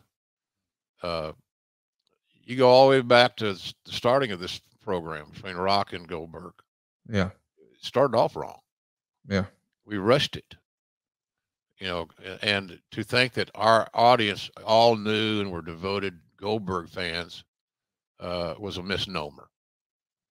We overstated his his value in as much as at one time, if if we had gotten him coming out of uh, right out, out when he was hot, then I think maybe we had a better shot at getting him over. But the the balloon was off the rose, so to speak. He had to be rebuilt and reintroduced. We didn't do any of that. We didn't rebuild him, and we didn't reintroduce him the right way. So, uh, and he's following orders on creative. So creative's got to take a, a, a, responsibility for that. At least that's my take on it. And, uh, but it, it never got off right. Never started right. It's hard to make something end correctly, Conrad, when it doesn't start correctly. Well, it can said. be done. It can be done, right? Yes. But you know, uh, and and this, this that sentence there, uh, Jericho wanted to kick out of the spear. See what I'm saying about how that spreads like wildfire? Yeah. So what does it mean next week? What's it mean in subsequent commentary? What does it mean, you know, at, at the end of the proverbial day when you kick out of a guy's finish? Are you going to make a story out of it? Or is it just a spot to appease the guy that's doing the kicking out? I don't know. How pissed off do you think Chris Jericho was when Goldberg said, You're not the rock? Well, I mean, it's a fact, but still, it's not something anybody wants to hear. No. Well, that's not the way you. That's not a team way of to to, to Approach it. uh, yeah. No. I mean, Billy's been in a team. Goddamn, he played for Georgia. Right. He, he's a Division One. He's a big time player in the SEC. He's been in locker rooms. He played for Vince Dooley. He he knows what you know. He knows the right way and the wrong way to talk to teammates, and that was the wrong way. Yes. if you want to, you know, Goldberg has got to realize too that Chris Jericho could could end up being a great ally for him because the more matches Goldberg and Jericho have together, the better Jericho is going to make Goldberg look and help get Goldberg over, which he direly needed.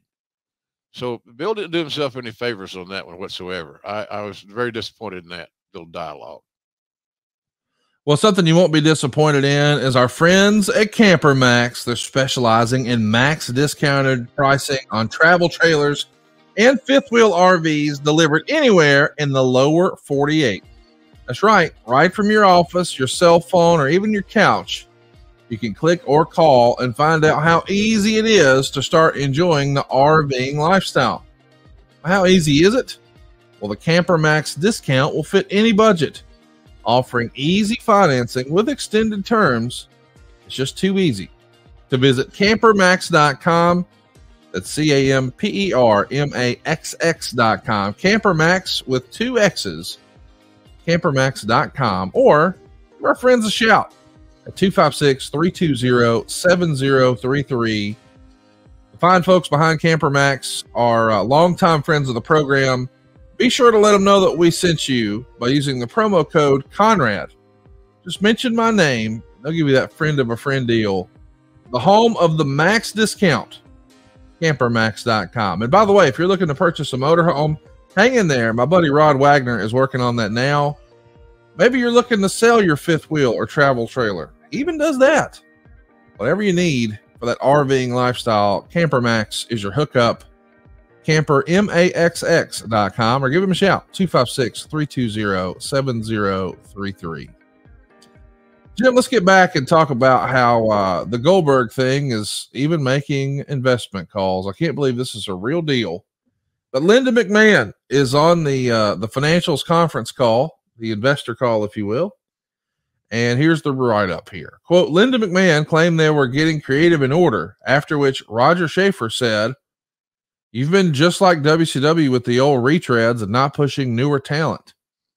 When talking about the promises and previous calls of creative improving, he said, quote, it's not happening. And Linda responded by saying the company brought back Bill Goldberg, but that he was, this is an exact quote from Linda McMahon, disappointing compared to what we expected him to be. I can't believe that's a real quote, but Linda McMahon said it again in regards to bringing back Goldberg.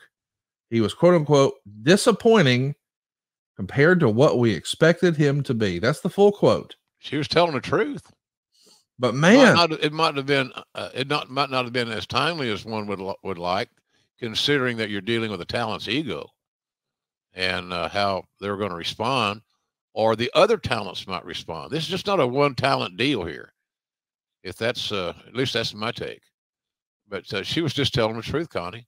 As Well- hurtful- as as stinging as it was, and as ill timed as it could arguably be arguably have been, uh, it was the truth. I don't think it was the truth. Let me explain. You don't think I he was dis- you don't think he was disappointing? I don't think he was disappointing. I think the execution of his return was disappointing. Oh, me too. So, but what I'm saying is to say disappointing compared to what we, meaning WWE, expected him, being W Goldberg, to be. Like the, the disappointing is that the disappointment is in the execution of the Goldberg character, not necessarily in his efforts, not necessarily in his presentation. I I agree. I agree Yeah. wholeheartedly. His efforts were not lacking. Uh, you know, Meltzer had a comment about uh, you know, some of the things he Bill was doing weren't, you know, what wasn't executed this. When did Bill Goldberg ever execute perfectly? Right. That was That part was of his his ch- Yeah. part of his charm.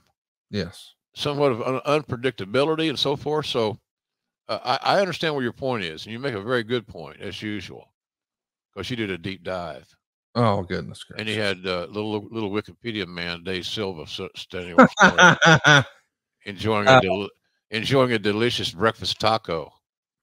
God damn, I'd like to have one of those right now, this very minute. Let's get around to three. Let's Yeah, do them. It's uh, we're gonna the next sixty seconds. We're gonna watch Jr. and Conrad eat. Yeah, we gotta get so- sponsor for that. I'm for it. yeah, let's do that. So Uh. Goldberg and Jericho are going to hook up at Bad Blood. They're going to have a good match, but Meltzer would point out if Goldberg was defending the title against Jericho, it would have been perfect. But with Goldberg striving to get to the title, it should have been much more of a WCW scenario with a short match and very explosive. And I guess we should just take a timeout right there, right now. You know what? It what did get Goldberg over were quick, for lack of a better word, squash matches, and that's not what we're trying here just off the jump, are we missing the boat by not giving people what they have grown accustomed to seeing with them? I mean, having competitive matches with The Rock and Jericho, I get is very much the WWE way. But if we're trying to build Goldberg up for the world title, he should just be running through dudes, should he not? You got to stay close to that formula that worked. Yeah. The issue was it was a WCW formula, and for some insane reason, over the years, uh, repeating uh, WCW's history uh, hasn't worked in WWE very well. And uh, part of that was because of Vince's commitment to the angle, and he wanted things to be original in his creation. And uh, that was not the way to go on this one. The formula was so simple. That'd be like telling Austin, okay, you got cleared, you're coming back to work, but we don't want you to use the spear and we sure as fuck don't want you to drink any beer. Well, first of all, Austin would never have gone for that, right. and secondly, it was a it's a, it's an insanely ridiculous uh, statement to make, and that so what worked will still work if it's executed, if it's if it's sampled, if it's dis- displayed out there, but uh, it was it, it made no sense. It, it just made no, so many missteps in this whole Goldberg scenario, and it's unfortunate because like I said, he's not a bad human being whatsoever.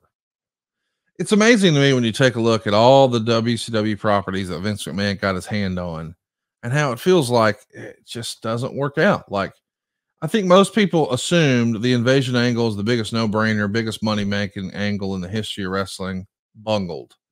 The NWO, well, shit, this can't miss. I mean, we've got the thing that really set this whole business on fire. Bungled. And then Goldberg, the the former dream match. Who would win? Austin versus Goldberg. When, we're all at our height, 1998, 1999, business has never been bigger.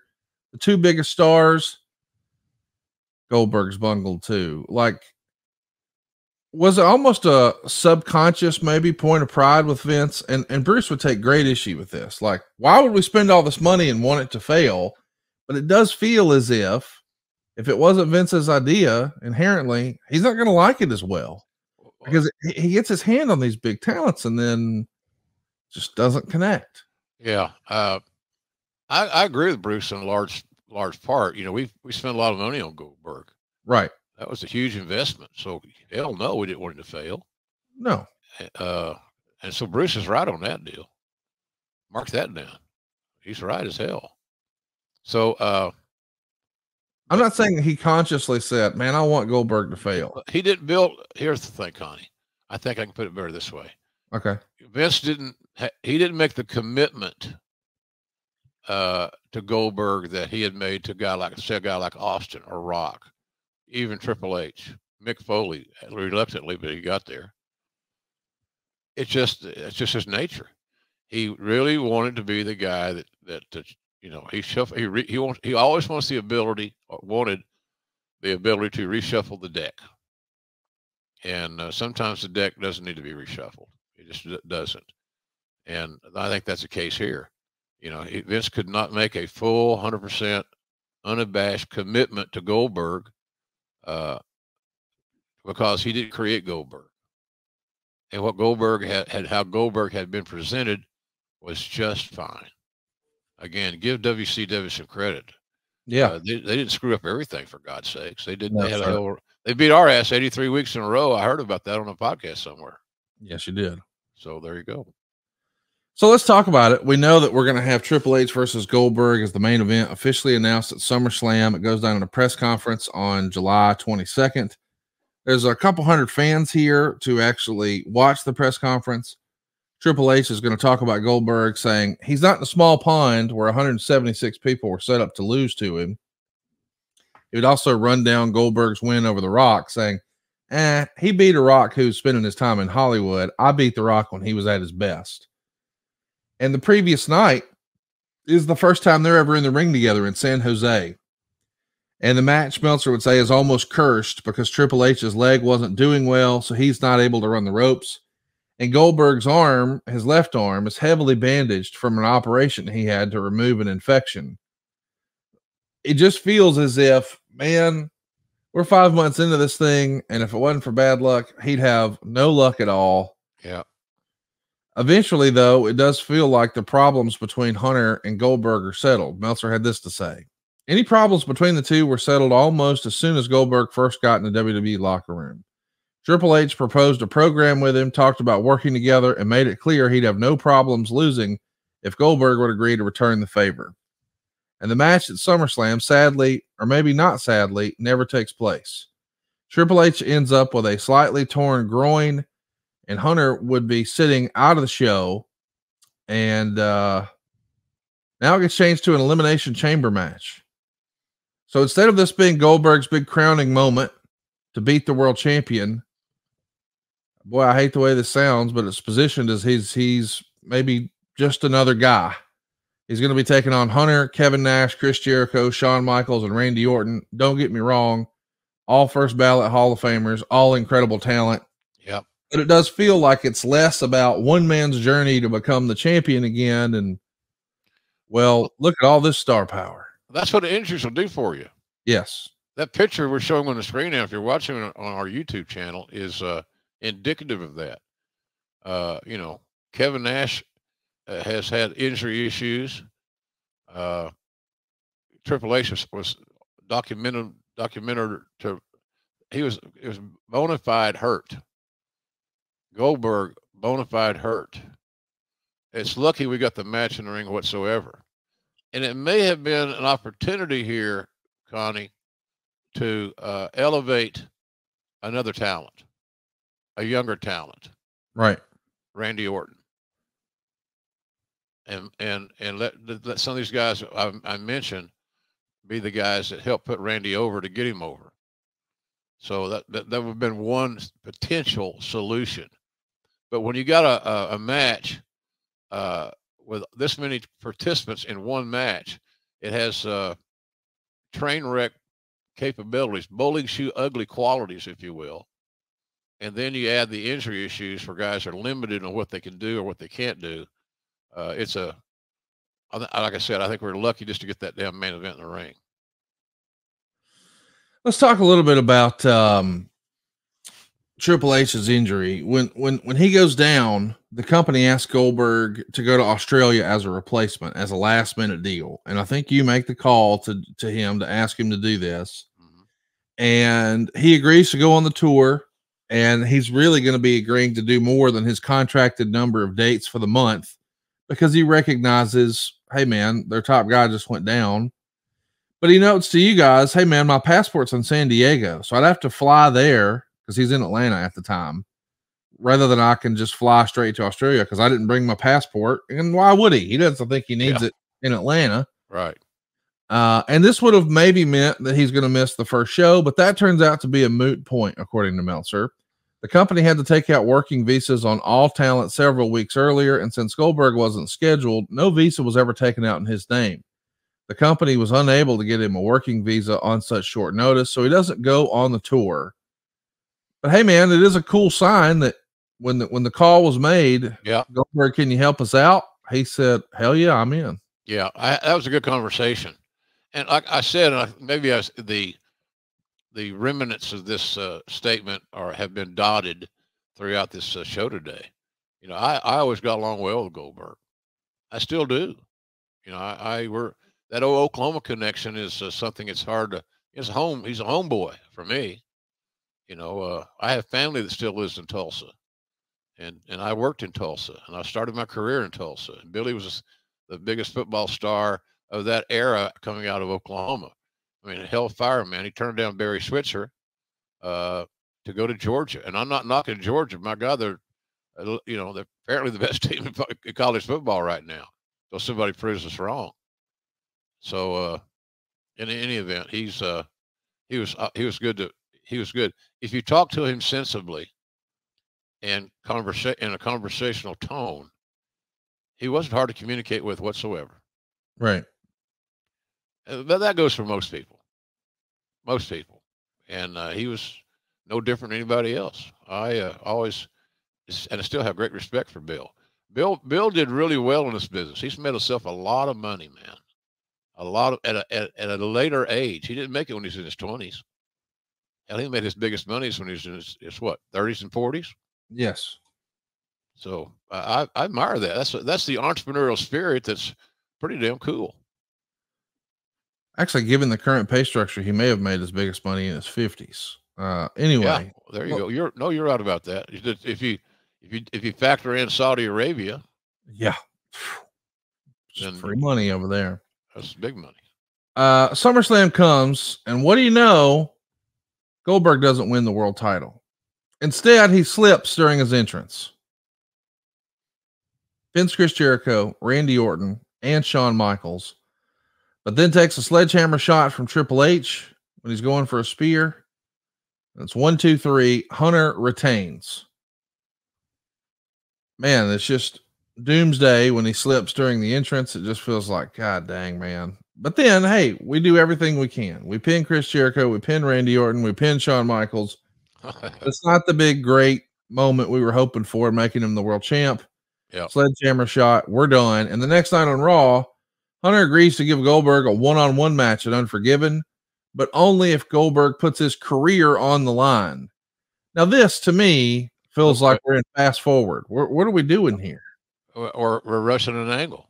Yes. And unnecessarily, quite frankly. I mean, to celebrate Goldberg's uh, uh, variety of victories over the talents that he defeated that we just documented is pretty damn extraordinary. Uh, we should have done more of that. And uh, Triple H got out by the skin of his teeth. Uh, he and his trusty sledgehammer. And I don't getting beat by sledgehammer to me. Don't. Oh, he got his first loss. Okay, fuck. Come on. Yeah, uh, I don't. I don't know. I told the guys this before. USA Today, when they were a real newspaper, uh, and were being read by everybody, nobody reads the newspaper anymore. Didn't seem like, or at least that often. Uh, well, that's another topic for another day. But in any in any event, uh, he he's uh, a loss is not. They didn't beat with a sledgehammer. Should add more fuel to the fire of seeing these two guys go one on one. But why did we have to add the retirement stipulation? I don't understand that. So uh, it was just rushed booking that should not have been executed. Let's talk about Unforgiven. They make it happen. Goldberg is going to beat Hunter Hearst Helmsley to uh, win the world title in just under 15 minutes. Goldberg is uh, in there with a, a, still injured Triple H. He's got a slightly torn groin. He's going to try to gut it out. And Meltzer would say that there's a saying you can do this the easy way or the hard way. And in this case, he felt like it was the easy way or the smart way or the dumb way. Quote, well, the dumb way was going to pacify the ego of the boyfriend. And if you thought anything different would happen. And of course, we're referencing the fact that Hunter is, of course, in a relationship with Stephanie, and perhaps this wasn't the type of match that fans wanted. And I kind of agree. Meltzer would describe it, and it's hard to argue. The match was too long and dull. I don't think anybody wanted to see a 15 minute Goldberg match. And I realize Hunter maybe didn't want to do a, a 38 second squash. I get that. Compromise, Conrad, compromise. Yeah. Go tell a compelling story in six or eight minutes, including entrances. You get caught with the guy's finisher. He beats everybody with it. And tonight he beat you. Simple. And, and just go out. All they were doing is putting in time and unnecessarily. It's okay to put in time if you're Shawn Michaels and Triple H or Randy Orton and Triple H or some of these other cats, Jericho, all those guys. But Goldberg is not that guy. He it needed to be more succinct, a little bit more Shakespeare, a little bit more drama, and then boom, uh, Goldberg found his way to get that spear in or the jackhammer and call it a night. Simple deal. and we could tell that story on the commentary side. We could we'd protect Triple H. I always protected Triple H in these matches. People think that you know I, they, I get to see these clips all the time on Twitter. You know, well, Jr. really hated Triple H. I, uh, to the contrary, I had great respect for him. I signed him when sitting on an anvil case in Evansville, Indiana. I, I want him to be a success. We needed him to be a success. So, uh, uh, I, but I, I, don't. We just rush things, and, and that that program could have gone on for easily for a year, but in that time frame, and Bruce might he might not not agree with this, but I think he might. As if I gave a shit. I'm kidding. Ross says he doesn't give a shit what Prichard says. Headline, Dateline, JR's bedroom in Jacksonville. uh, so, you know, I, I think that uh, I, I just, it was just, it was mishandled from the day one, this whole Goldberg investment. And that's how I looked at all these guys. Conrad, if booked differently, don't you agree or do you agree that Goldberg would have been a successful headliner for a WrestleMania if he was introduced correctly? Absolutely. Case closed, Your Honor. Well, unfortunately, it doesn't happen. Instead, we're just going to try to limp along here. The night after uh, the, the loss that Hunter takes, he's going to take uh, a bit of a break, not injury related, but movie and wedding related. So now Raw is essentially Goldberg's show.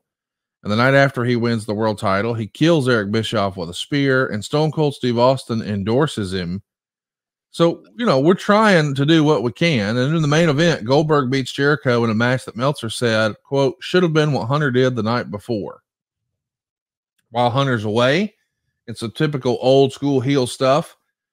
He's going to announce there's a hundred thousand dollar bounty on Goldberg's head while he's away. And one of the people looking to cash in is Mark Henry. They go five minutes. And uh, of course, Mark Henry uh, is dispensed with. But this is maybe the first time it looks like Mark Henry got a real shot, you know, touching the main event like this. Yeah. Goldberg. He got shoved, he got shoved into the spotlight by unusual means or, or unusual routing.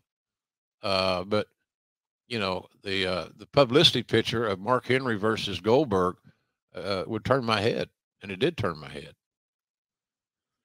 Let's talk about uh, Shawn Michaels. It looks like we're going to be building towards uh, a circumstance there with Goldberg and Shawn Michaels when Goldberg accidentally spears Shawn after the match. And, you know, these are two baby faces at this point. Uh, Henry is going to put Goldberg through a door, and there's doubt Goldberg will be able to make it, but he does. He spears the ref by accident because it seems like he can never spear the guy he's supposed to He eats a super kick before Batista hits the ring and spine busters Michaels and Batista bombs Goldberg and puts his ankle in a chair and jumps on it to break it. He's joining Evolution as a new major heel. So listen, this is an excellent way to sort of establish Batista as a, as a big time player and, you know, brush him up against the main event. But babyface versus babyface, it feels again as if we're asking the WWF loyal fans who've you know long timers their whole life. I'm a WWF guy, not a WCW guy. Well, they're always going to pull for Shawn Michaels over Goldberg, are they not? Oh, yeah, pretty much, pretty much. Uh, I still believe, and I may be sounding uh, really old school, uh, and you know, and I, I'm not smart enough to sound like Jim Cornette because he's much smarter than me. That's all. That's not being facetious. God damn it, Conrad, you son of a bitch! You know, I'm smarter than JR. Ric Flair said it. Uh, life is so much fun. Uh, I don't know where I was. I, I go for these fucking tangents. Oh, Batista. Well, we're just trying to get healthy bodies, and Dave was a. He looked great, you know, yes. all that stuff, and he had a. He had. He, he was just. It was his time. Uh, so. But I, I, I like what we did with Hunter while while he was away. Uh, I really did. I thought it was I thought old was, school. Yeah. Yeah, it was old school. It kept him visible when he wasn't there. It kept his presence felt when he wasn't there. And that's just good booking. That's just good booking. So, and I'm sure Hunter probably came up with the idea. A, a, a great talent will do that. Now that he's been speared by Goldberg, Eric Bischoff wants to strip Goldberg of the title. Austin won't let him. Goldberg's going to return to save Steve Austin from Batista, and a match is made for the Go Home Raw for Survivor Series. Survivor Series, of course, is where we're going to get this Hunter Goldberg rematch. Hunter returns on that Raw to save Batista after two minutes, and now we're ready for Survivor Series. Goldberg retains in 11 minutes and 44 seconds. He powers out of a pedigree. He teases hitting Hunter with a sledgehammer, but instead throws it out of the ring. Spear, jackhammer, and Meltzer gives it two and a half stars. And Meltzer would say, if they had introduced him like this, they would have done big business. Ding, ding, ding, ding, ding, ding for Dave. Yep. And what do we have any lovely, lovely parting gifts for Dave this week, ladies and gentlemen? We have some car wax and some Manscape. Well, actually, what we have is some Jimmy's famous seafood at jimmyfood.com. Listen, if there's one thing JR and I know, it's good eating. And when it Damn comes right, brother. crab cakes, when it comes to the best crab cakes in the whole doggone world, it's Jimmy's famous seafood.com. That was Jan. Jan and I used to have little favorite meals that we'd get uh, on mail order, o- o- online, whatever the term, the cool term is. Uh, I've ordered so many times from Jimmy's. I should have everything memorized by now. Uh, I love that place. The friendliness, the family, Yes. just wonderful people. They support pro wrestling uh, like nobody else. Yes. But I'll tell you, pal, uh, those crab cakes are they're orgasmic. I mean, these son of bitches are the best ever. And uh, she used to put them under the broiler the last minute or two or three minutes, whatever it was. Crisp them the- up. Crisp them up a little bit. And man, that was a big treat for us. We uh, we loved that meal. So, you you if anybody's a wrestling fan, you've heard of Jimmy's Seafood in Baltimore. You have to. And and if you ask a lot of the top stars in the business, no matter what company they work for, where's the place or your favorite place to eat on the road? Jimmy's Seafood. No brainer. Jimmy's famous seafood. See what all the fuss is about. Little pro tip that Eric Bischoff enjoys: throw the car- the crab cakes on the grill. Get a little flame kissed on those dudes. He, he described it as uh, like touching God in the face. Uh, they ship food nationwide here at Jimmy's Famous Seafood.com. Now, if you've ever ordered really nice, high quality food like this, you know, man, the expense is in the shipping. What if we got you free shipping? Yeah, baby. free two-day nationwide shipping on orders over 125 when you use the promo code Jim Ross. You got Maryland crab cakes, the soups, the chowders, the oysters, the steaks, the desserts, and it makes an excellent gift. If you're still doing some last-minute shopping, you're going to get together after the holiday with some folks. Let me recommend the famous gift box. Four of the world's best colossal Maryland crab cakes, two different crab soups, crab dip, seafood seasoning, their signature bay sauce. They even got a tailgate bundle if you're in the mood to go bowling. Got two pounds of wings, a full rack of ribs, Yeah. crab dip, crab cake mix, everything you're looking for. It is the place to be if you're a wrestling fan. It's also been all over TV. Beat Bobby Flay, diners, drive-ins, and dives, and so much more. It's a legacy heritage building. I mean, we're talking like generations of family members here. It's a 10 out of 10. It's my favorite restaurant in America. I'm not exaggerating. I It's about it. Food, it's about the people, it's about the service. It's Jimmy's Famous Seafood.com and use that promo code Jim Ross. Yeah, sometimes you get tired of turkey or you Yes. get tired of chicken or the spiral ham. I haven't found those days yet, but I'm sure they're coming if I keep eating it. Uh, but I love uh, I love Jimmy's. It's, it's a it's a change of pace. It's I'm telling you, I, I've never had. I won't even hardly order crab cakes if I'm not at Jimmy's because I don't want to be I, I don't want to be disappointed because nobody else's crab cakes hold up to that standard. And free Well shipping said. free shipping is a is a great gift. And you know, I know this probably isn't kosher, but I've been known to put a little JR seasoning on those crab cakes when I'm cooking them, and I uh, get a little crazy down there, if you know what I'm saying. There you go. Check it out. Jimmy's Famous Seafood.com. The promo code is Jim Ross. I don't know for sure, but I feel like this song was in the movie Anchorman. Uh, really? Yeah. Silva, he's got Is he he's got dancing again? Sticked out right now. Well, thankfully, he's not on camera, but I can imagine he is. Jimmy's Famous Seafood.com, promo code Jim Ross. You'll be dancing. Let me taste these new crab cakes. Woo, best in the business. Best in the business. All right, speaking of big business, we get it. Goldberg's going to interrupt the Brock Lesnar interview and introduce himself to him. Of course, everybody sees money in it, but somehow the feud between Hunter and Goldberg has Kane added to it after he chokeslams Goldberg in an Armageddon. It's now a three way for the title. Uh, I mean, we see the tease there of what could have been, but we quickly pivot if you're watching on YouTube to this three way opportunity. Mm-hmm. It creates another opponent for Goldberg. Two uh, big heels that people believed in have been there for the seemingly for the duration. So all that that booking was to put the babyface at a distinct disadvantage, being outmanned essentially two to one. And you would think, well, certainly neither Goldberg or Hunter are going to take the loss here. I mean, if you add a three way it so you can beat the other guy, nay, nay. Armageddon sees Hunter win the world title after 20 minutes. It's a star in three quarters, according to Meltzer. Goodness gracious. Batista pulls Kane out of the ring. Triple H is able to pin Goldberg, and that comes off flat, according to Meltzer, as he describes it to the fans. And we see the presentation as the pay per view goes off the air. There's evolution and what it will be Randy Orton, Ric Flair, Dave Batista, and of course, Hunter Hearst Helmsley.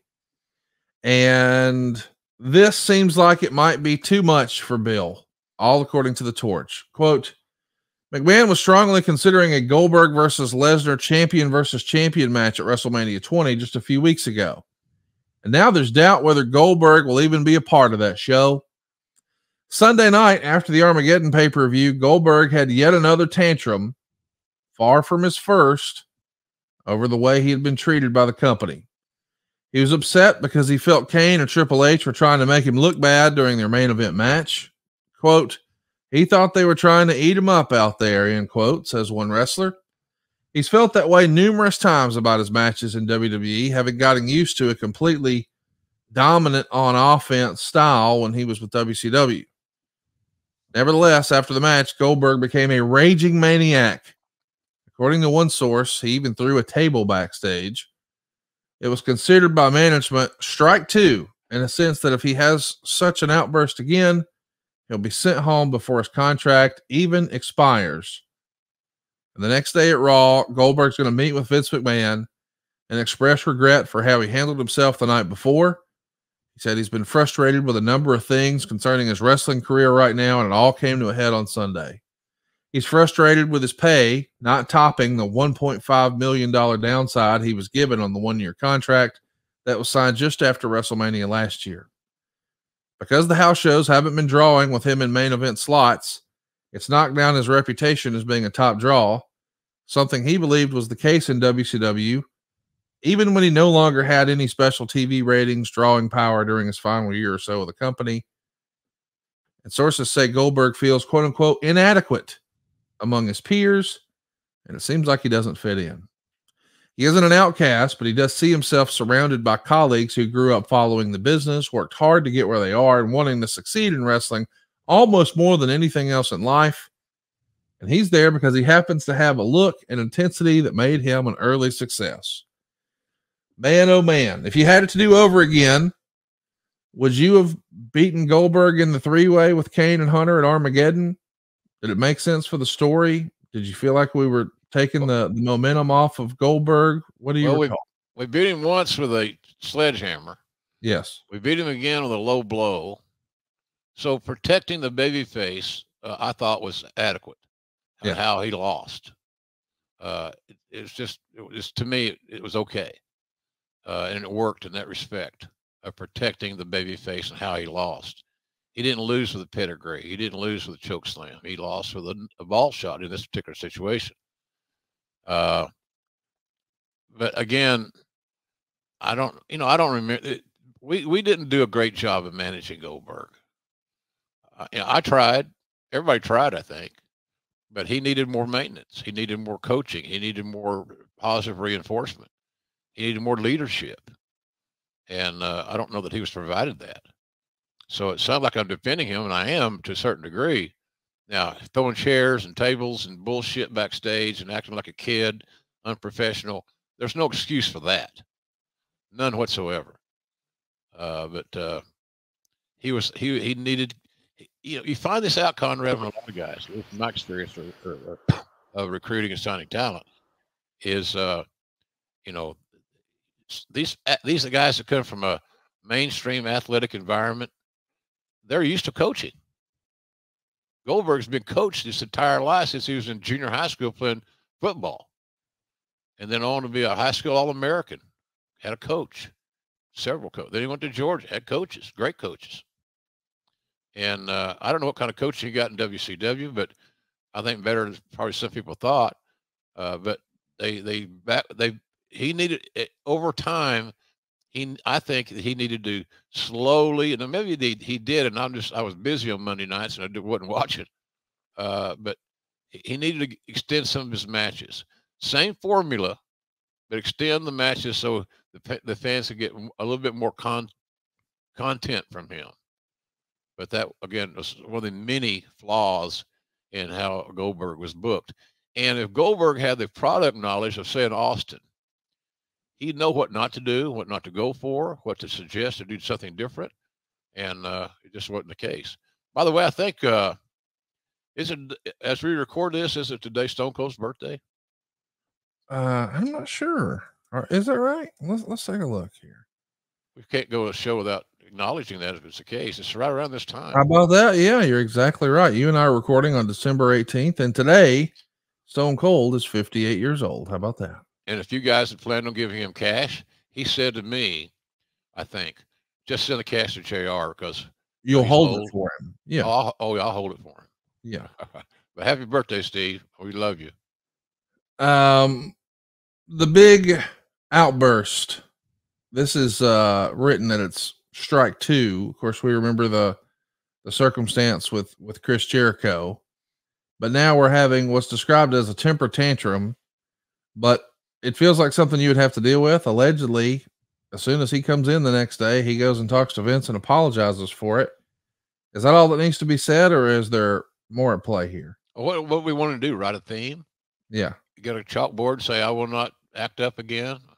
Five hundred times. I don't know what you do I mean, he came to the man with a legitimate uh, apology, and and he apologized to the one guy that he had to make happy and apologize to. And that was the owner. So uh, I don't know what else he could have done. I mean, seriously, I'm being facetious and that other shit, but uh, I thought he did the right thing there. He made a big mistake, and along with that big mistake needs to come a big apology, and to never ever allow it to happen again did you perceive at this moment when you know he's unhappy with his pay? And don't get me wrong, a 1.5 downside back then is strong as hell. Yeah, it is. It's strong as hell now, but it was really strong way back when. But he still was expecting more. And he's disappointed by that and doesn't love the creative and has had some dust ups backstage. Did you kind of feel like, is it even worth it to re sign him? We got to try to keep this going there's something here. Let's pull the nose up. Or is it more like, eh, let's get as much as we can out of this deal and just know it ain't happening? I think the latter had probably more validity than the than the former of your two illustrations. Um, you know, I, I, I hated to say, let's give up.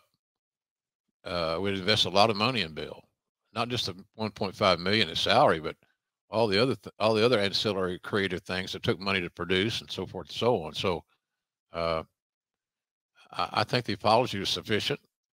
Uh, but if you wanted to make more money to live events, guess what? You got to sell tickets. We weren't selling tickets. Right. Therefore, the enhanced money, the uh, discretionary monies going above and beyond, uh, just wasn't there. The, what the productivity was not there to justify giving a guy more money on a on a live event that you're losing money on, and that's the case. Meltzer right. It's not even close to 100% that WWE will even make an offer to him, although that decision has not yet been finalized. It's believed that when he goes back to Japan and returns to the Raw roster, that he and Jim Ross will talk about if either side is interested in serious negotiations or not. Goldberg is also a lot more physically banged up than most realize, and that may be part maybe part of his decision to not wanting to do another year. It's apparently been told to Goldberg that after he lost his cool after his match at Armageddon, that another outburst would be considered as a final straw. Goldberg said he's going to finish up his commitments and try and make the last three months work. And the feeling internally is there won't be another situation. Of course, at the Royal Rumble, Goldberg comes in with the fame number 30. He's going to clean house, and Lesnar is going to interfere and hit the F5 on Goldberg. Angle tosses him over the top rope, and it ends Goldberg's dream of having another world title match. And this is some fun creative. Listen, I think everybody going into this assumes well, Goldberg's going to win the Rumble, and you find a fun, creative way to make sure that it's not the case. And then Goldberg would spear Steve Austin on Raw after Vince McMahon moves out of the way during a promo. And that creates a circumstance where Austin is now going to be the special guest referee. And this is really fun, creative because the dream match for years and years was Goldberg and Austin. We're not going to get that. Austin's not wanting to wrestle. But having him in the same ring at WrestleMania, it's about as big of a deal as it could be. And I think behind the scenes, Goldberg and Austin were becoming pretty good friends at this time. Is that the way you recall? Yeah, they communicated well. Sure. Yeah. Along the way at No Way Out, Brock Lesnar is going to drop the WWE title to Eddie Guerrero after Bill's interference. And all of a sudden now, Eddie Guerrero is the uh the world champ. And once upon a time, maybe we thought it was going to be champion versus champion, Goldberg versus Lesnar. Now there's no titles in sight at all. And uh, Meltzer would write, or, or uh, Wade Keller would write rather, Goldberg will be working just one more date with the WWE, and that being WrestleMania 20. He won't be brought back to TV, barring a change in plans until WrestleMania 20. He did have discussions, or WWE did have discussions with Goldberg about a new contract, but no offer was made, and the talks never got serious. A well placed source says WWE officials asked Goldberg if he'd be willing to do future shots with the company once his contract expires. Goldberg was very forward with WWE and letting him know he won't spot he won't talk generalities, he'll only talk specifics. He talked money, money, Connie. Yes. That's specific. That's the code for uh, money specifics. How much will you pay me for these one-off shots? Meltzer would even say, or, or, or, Wade would say rather. In other words, Goldberg wants WWE to approach him with an actual offer. The relationship between Goldberg and the office is said to be strained, and sources to say there's very little chance that WWE will offer Goldberg anything more than a special appearances deal, and even less of a chance that Goldberg would accept anything more than that. WWE is interested in booking Goldberg for their tour of Japan. And if they get him enough money for that tour and other special appearances, Goldberg would likely accept. Did it, sounds just like Wade's been talking to Barry. You know, where else are you going to get that information? 100% accurate. And, and here's the thing that killed that match. The internet, the, you know, yes. what's that, that song? Uh, radio kill the something. yeah video kill the radio star yeah. yeah. so that's yeah something like that you're a better singer than i congratulations thank you uh but you. yeah uh I, it just kept getting you know the, the at some point you just kind of want to throw your hands up and say look this shit ain't working it's never worked the guy made a lot of money and I don't know how much more money he made from merchandise and things like that that would add to his 1.5 million. Maybe that was under uh, underestimated as well. I don't know. I don't. I don't remember what Bill was making on his merch at that point in time, but it was significant. There was Goldberg merchandise sold. Uh, it wasn't on Austin's level or Rock or some of those cats, but it was it was significant.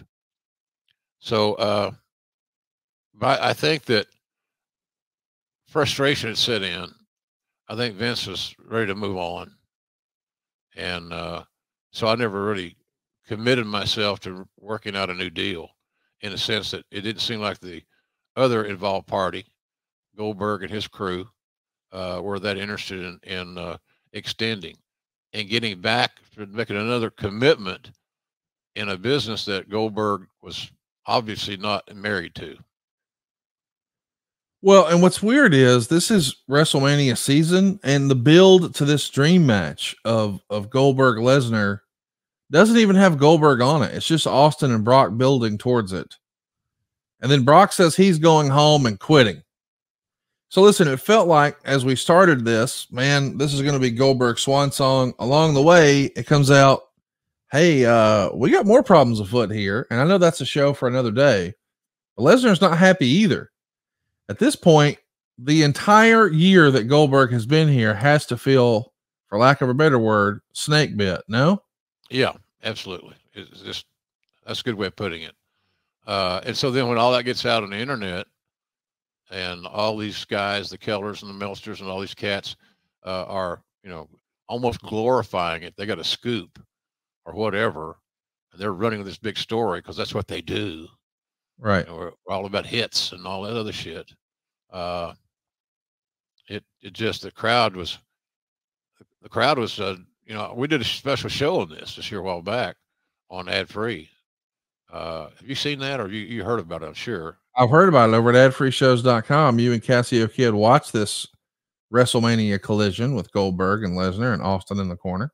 Yeah, correct. So, uh, you know, and it, it, the, and here here's the summation from Casio and I both is that the match was better than it's remembered as being. Yes. Yes. And uh, uh, but the but the those guys, if it was a trial, uh, the jury had already declared their their verdict before the match started. You're leaving us. You're deserting us. We've been here for you. We've we've helped you facilitate making a lot of money, et cetera, et cetera. And this is what you do.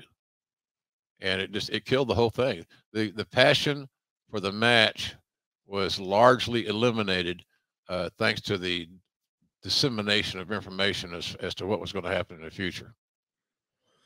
Meltzer wrote it was the worst crowd possible for Goldberg versus Lesnar, as a significant percentage, maybe 20% or more of the fans, knew it was Lesnar's last match, according to several live sources. Loud chants started when Lesnar came out, and it wasn't long before everyone in the building had it figured out. The company had asked Lesnar not to say anything until after the match, and the chants were so loud that Jim Ross on the air acknowledged the chants and mentioned rumors that it was Lesnar's last match and that he was going to try out for the NFL. Mm-hmm. The WWE on its website did acknowledge it as the case shortly after the completion of the match, and the crowd was the story of the match, with chants of "You sold out," "This match sucks," "Boring," "We want Bret," "We want Hogan," and they heavily booed everything that both did throughout the match. I'm not at a loss to explain why fans react like this, but it's an embarrassing thing to watch and explain of course, the match is not well remembered, but it really is. I mean, the, the, the fans took over the match and they became the story, which didn't give the guys much of an opportunity. No, no, they're dead. Like I said, the jury had already made their their declared the verdict right before the trial started. We're done, and uh, that's that's where that was. So, it, I felt bad for those guys. I, I really did. You know, I you know I signed Brock. I helped sign Goldberg. I like both guys for various reasons, but they both had a lot of similar characteristics as far as the physicality. Uh, I'll tell you that as good an athlete as Goldberg uh, was, he wasn't in Lesnar's league as far as ath- just being a pure athlete. Right. There's a difference in injuries, age, uh, and basic athleticism. Uh, for Lesnar to get a chance to go try out for the Vikings and almost make the team. I think he was the last cut. And he hadn't played football since high school. We're talking the National Football League here. He was an extraordinary athlete, and he still is, for that matter. You see flashes of that occasionally with in, in the, some of the matches that he has that I've uh, I've, I've, watched. Uh, just nobody like him in that, in that regard. So uh, I, I uh, I, I love uh, I love those guys, but I felt so badly for them. And the one that, if you look, if you go back and look at it, Connie, the guy that's got the most consternation on his face is Austin. Yes. Like thinking, what the fuck am I doing in this thing? Yes. This is the cluster of all clusters, and here I am, right in the middle of it. And but thank God Austin was there because those two stunners he delivered at the end, to one to each guy, was was money. It finally gave the fans something to embrace and cheer for. Well, something we're all cheering for these days is the way we feel thanks to AG1. I got to admit, Athletic Greens has been a part of my life even before the pandemic started. My wife really wanted us to start optimizing our immune system at the start of the pandemic. So we started taking AG1 every single day. She knew that I would do it because, well, I don't like taking pills or vitamins. And if I'm going to do it, I want a supplement that actually tastes good. Well, this does it. It also gives us, well, a lot of support. Take a listen. When you absorb one delicious scoop of AG1, that's it, just one scoop of AG1 every day, you're going to be absorbing 75 high quality vitamins, minerals, whole food source superfoods, probiotics, and adaptogens to help you start your day right. This special blend of ingredients is going to better support your gut health, your nervous system, your immune system, your energy, your focus, your recovery, your aging, all of your things. And we think of it as like your all in one nutritional insurance. Our friend Dallas wants you to know it's lifestyle friendly. Whether you eat keto or paleo or vegan or dairy free or gluten free, this checks all the boxes. It also has less than one gram of sugar, no GMOs, no nasty chemicals, no artificial anything, and it still tastes good. It's going to support better sleep quality and recovery. It's going to support mental clarity and alertness. And here's what Jim and I are most impressed about because we're entrepreneurs, right? Yep. yep. AG1 has over 7,000 five star reviews. That's unheard of. That's that. If there's anything more you need, folks, than that statement, which is a true statement, let us know because I don't know what, what it could be. 7,000 five star ratings. Yep. Uh, it's a, it's amazing, and it's a testament to this product and how well it works. Well said. Because the reality is, when's the last time any of us went out of our way to leave a review? It's not something we make a part of our daily routine. So to have more than 7,000 people love the product so much they went and sought out how to leave a review, it tells you this is the good stuff. And right now, we think it's time to reclaim your health. Arm your immune system with convenient daily nutrition. It's just one scoop and a cup of water every day. That's it. No need for a million different pills or supplements to look out for your health. And to make it easy, Athletic Greens is giving you a free one year supply of immune supporting vitamin D and five free travel packs with your first purchase. All you got to do is visit athleticgreens.com forward slash JR. Again, that's athleticgreens.com forward slash JR to take ownership over your health and pick up the ultimate daily nutritional insurance. Good stuff. Works, folks. Give it a shot. Well, listen, man, uh, this is uh, Bowling Shoe Ugly, WrestleMania 20. Do you talk to either guy before the show, after the show? What do you remember of that day and your interaction with I'm, these folks? I'm sorry, I'm sorry, Connor. I was talked out. I got a show. I got WrestleMania to do. Yeah. Not the time to go back and recoup old, open old wounds, and is there anything yeah. we can do, and all this other bullshit. Look, they they they were making a ton of money. Yeah. Both guys, and they didn't want to be there. What more can I do? Pay them more money to rent their services, not their heart, not their soul, not their passion, but to to rent their services, their images. Uh, and I there's a, that wasn't the time or the place to do that, uh, at least in my view. We had a it was a hell it was WrestleMania 20 man, it's Madison Square Garden, and for some of us that still means a lot. Yes. You don't think I would love to call a match in Madison Square Garden before I hang it all up? Of course I would. So uh, the garden's a special place, no matter who you're working for.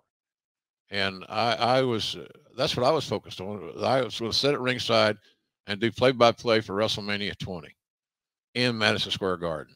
And for a lifelong fan, that's huge. That's huge. So no, I didn't talk to them. Uh, uh, look, the hay was in the barn, as we say in Oklahoma. It's done deal. We Goldberg's thing. We had that He's got one one event left. He's booked. It's here, Garden. And Brock made it very, very clear to anyone that would listen or anyone within earshot, he wanted out. His love of wrestling and lack of love, better said, his lack of love of, of pro wrestling uh, finally was way out in the open. And he wanted to do something else. But all along, we all knew what motivated Brock. Same thing that motivates you today cash Doll hairs. Yes, sir, buddy. Well, listen, we know that's going to be the end of Goldberg in the WWE for 12 years. He finally returns in 2016, shockingly defeats Brock Lesnar in 86 seconds at Survivor Series. Now we start to push Goldberg, maybe how we should have to begin with. He defeats Kevin Owens for the WWE title in February of 17. Sets up a rematch with Lesnar at WrestleMania 33 in Orlando, which Brock is going to win. He goes in the 2018 Hall of Fame and makes sporadic appearances uh, for the Universal title and works with Bray Wyatt and The Fiend and Braun Strowman. And I guess his final opponent, or his original opponent, rather, instead of Braun Strowman, was Roman Reigns. But of course, Roman during that COVID WrestleMania was was not available. But he does make appearances since. He puts Reigns over uh, earlier this year in Saudi Arabia, and a lot of people think that may be it. And I think Goldberg's probably one of the more misunderstood talents. And I think a lot of WWE fans look back at his first WWE run and, and, and point a lot of fingers at him. I think we've demonstrated today that plenty of blame to go around there, but it was a failure of the creative in order to help check the boxes. You know, Goldberg, when left to do Goldberg things, could still draw money. But when we asked him, hey, well, why don't you go wrestle a 20 minute match and put on this wig? Uh, that, well, that's just not what made him in the first place, right? No, of course not. It's, it's absurd.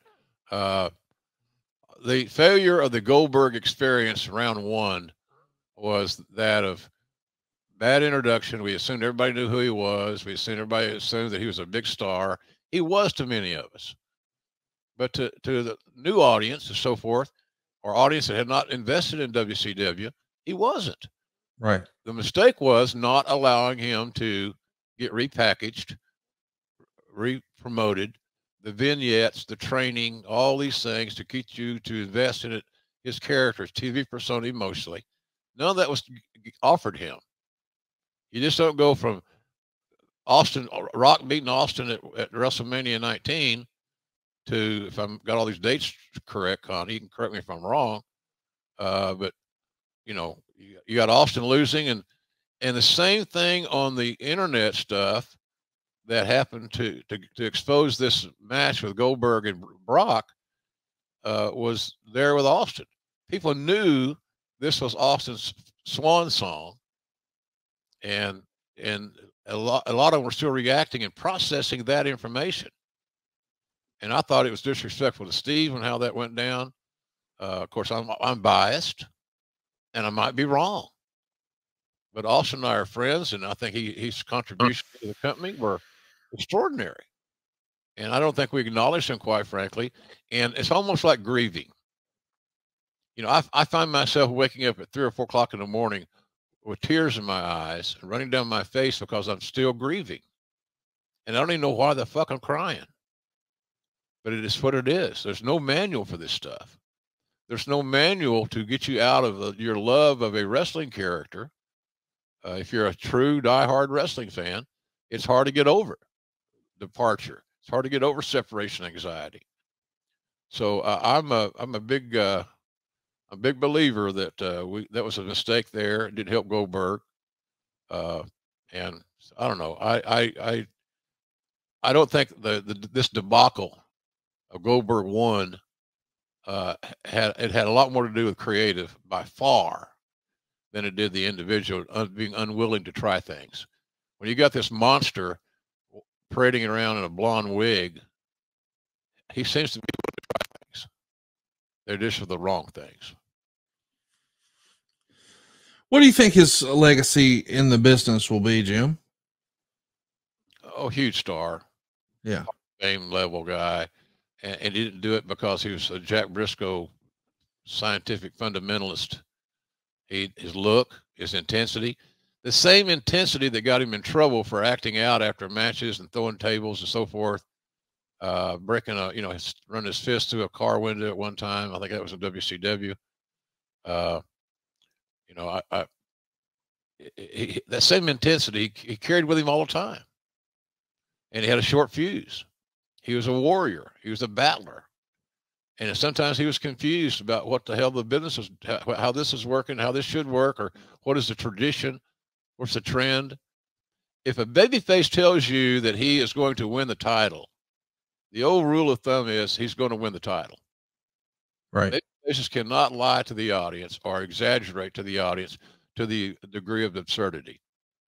But I think Bill's reputation is going to end up being probably going to grow in stature as time goes on he really was a phenomenon. You stop and think about it.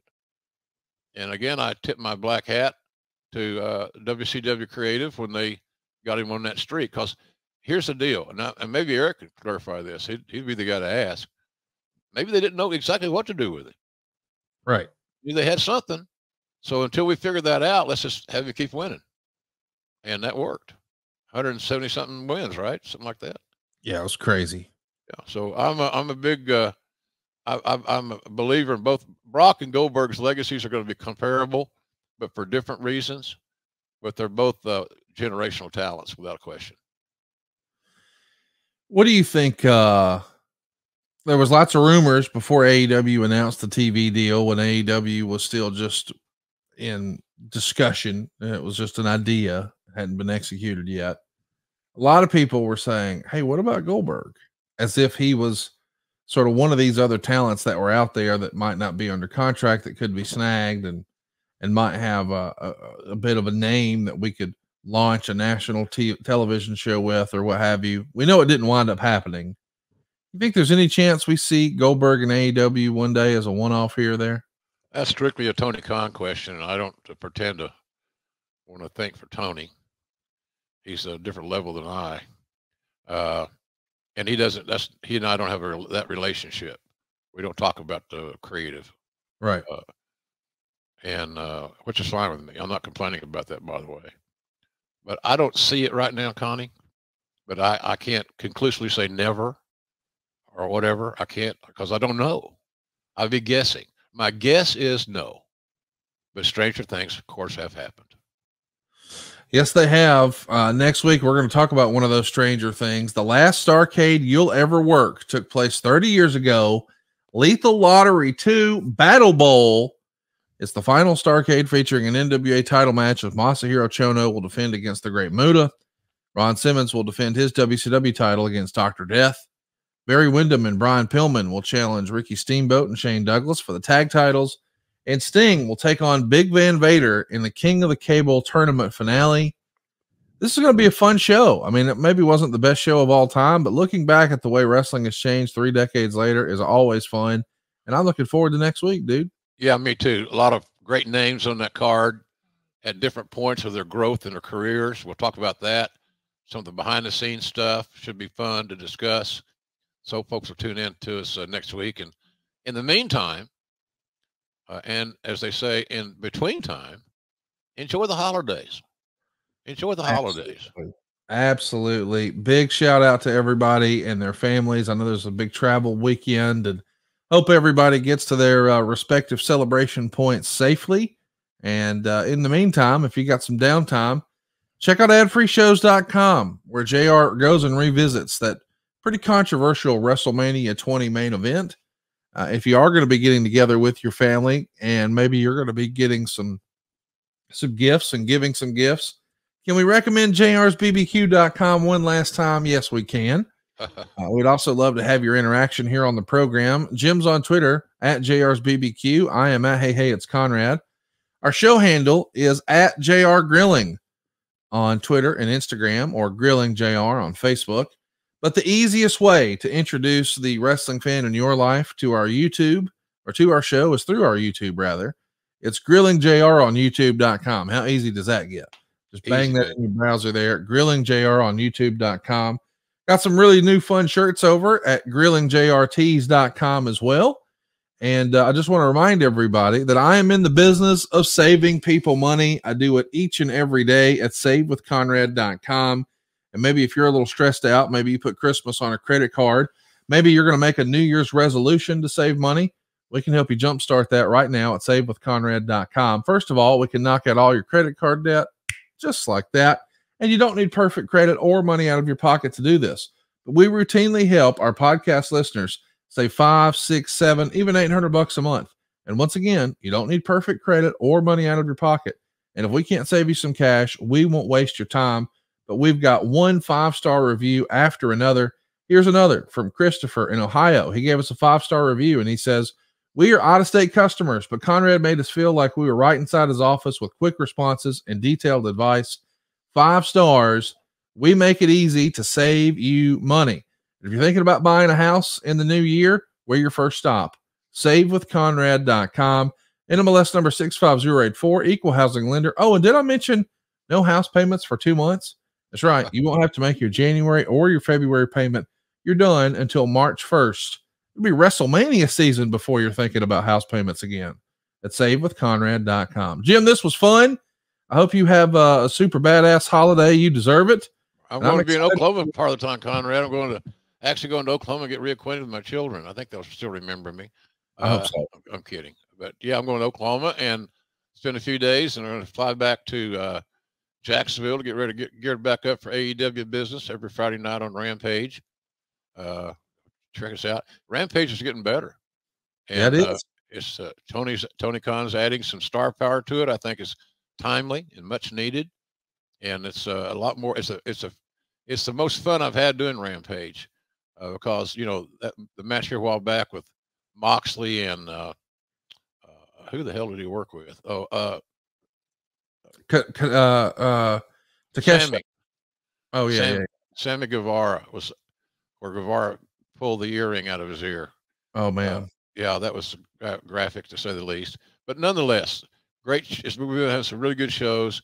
Uh, Tony's done a good job of adding some muscle to that show. It's a star power, and uh, you know, I've had I've had guys come to me and say, "Well, I'm sure I'm glad I'm on Rampage, or I'm getting to work on Rampage because I want you to call my match or something nice, nice things." So uh, check us out on Friday nights on TNT. Of course, the flagship shows on Wednesday nights on TBS. A lot of good stuff going on. So enjoy it. But the main thing, enjoy the holidays or what the holidays are intended to be enjoyed for. Yes, sir. And hug a loved one. Call somebody you haven't talked to in a while hey, or text them. If you don't feel like interacting, you don't feel good about that for whatever reason, you're self conscious about it, send a text. Something, just communicate, reach out, reach out to the ones you love and enjoy your holidays. That's what I'm going to do. Well said. Shout out to everybody and their families. Hope everybody has a merry, very Merry Christmas. And we'll be back next week talking all things Starcade from 30 years ago, right here on Grilling JR with the voice of wrestling, Mr. Jim Ross. Boomer Sooner.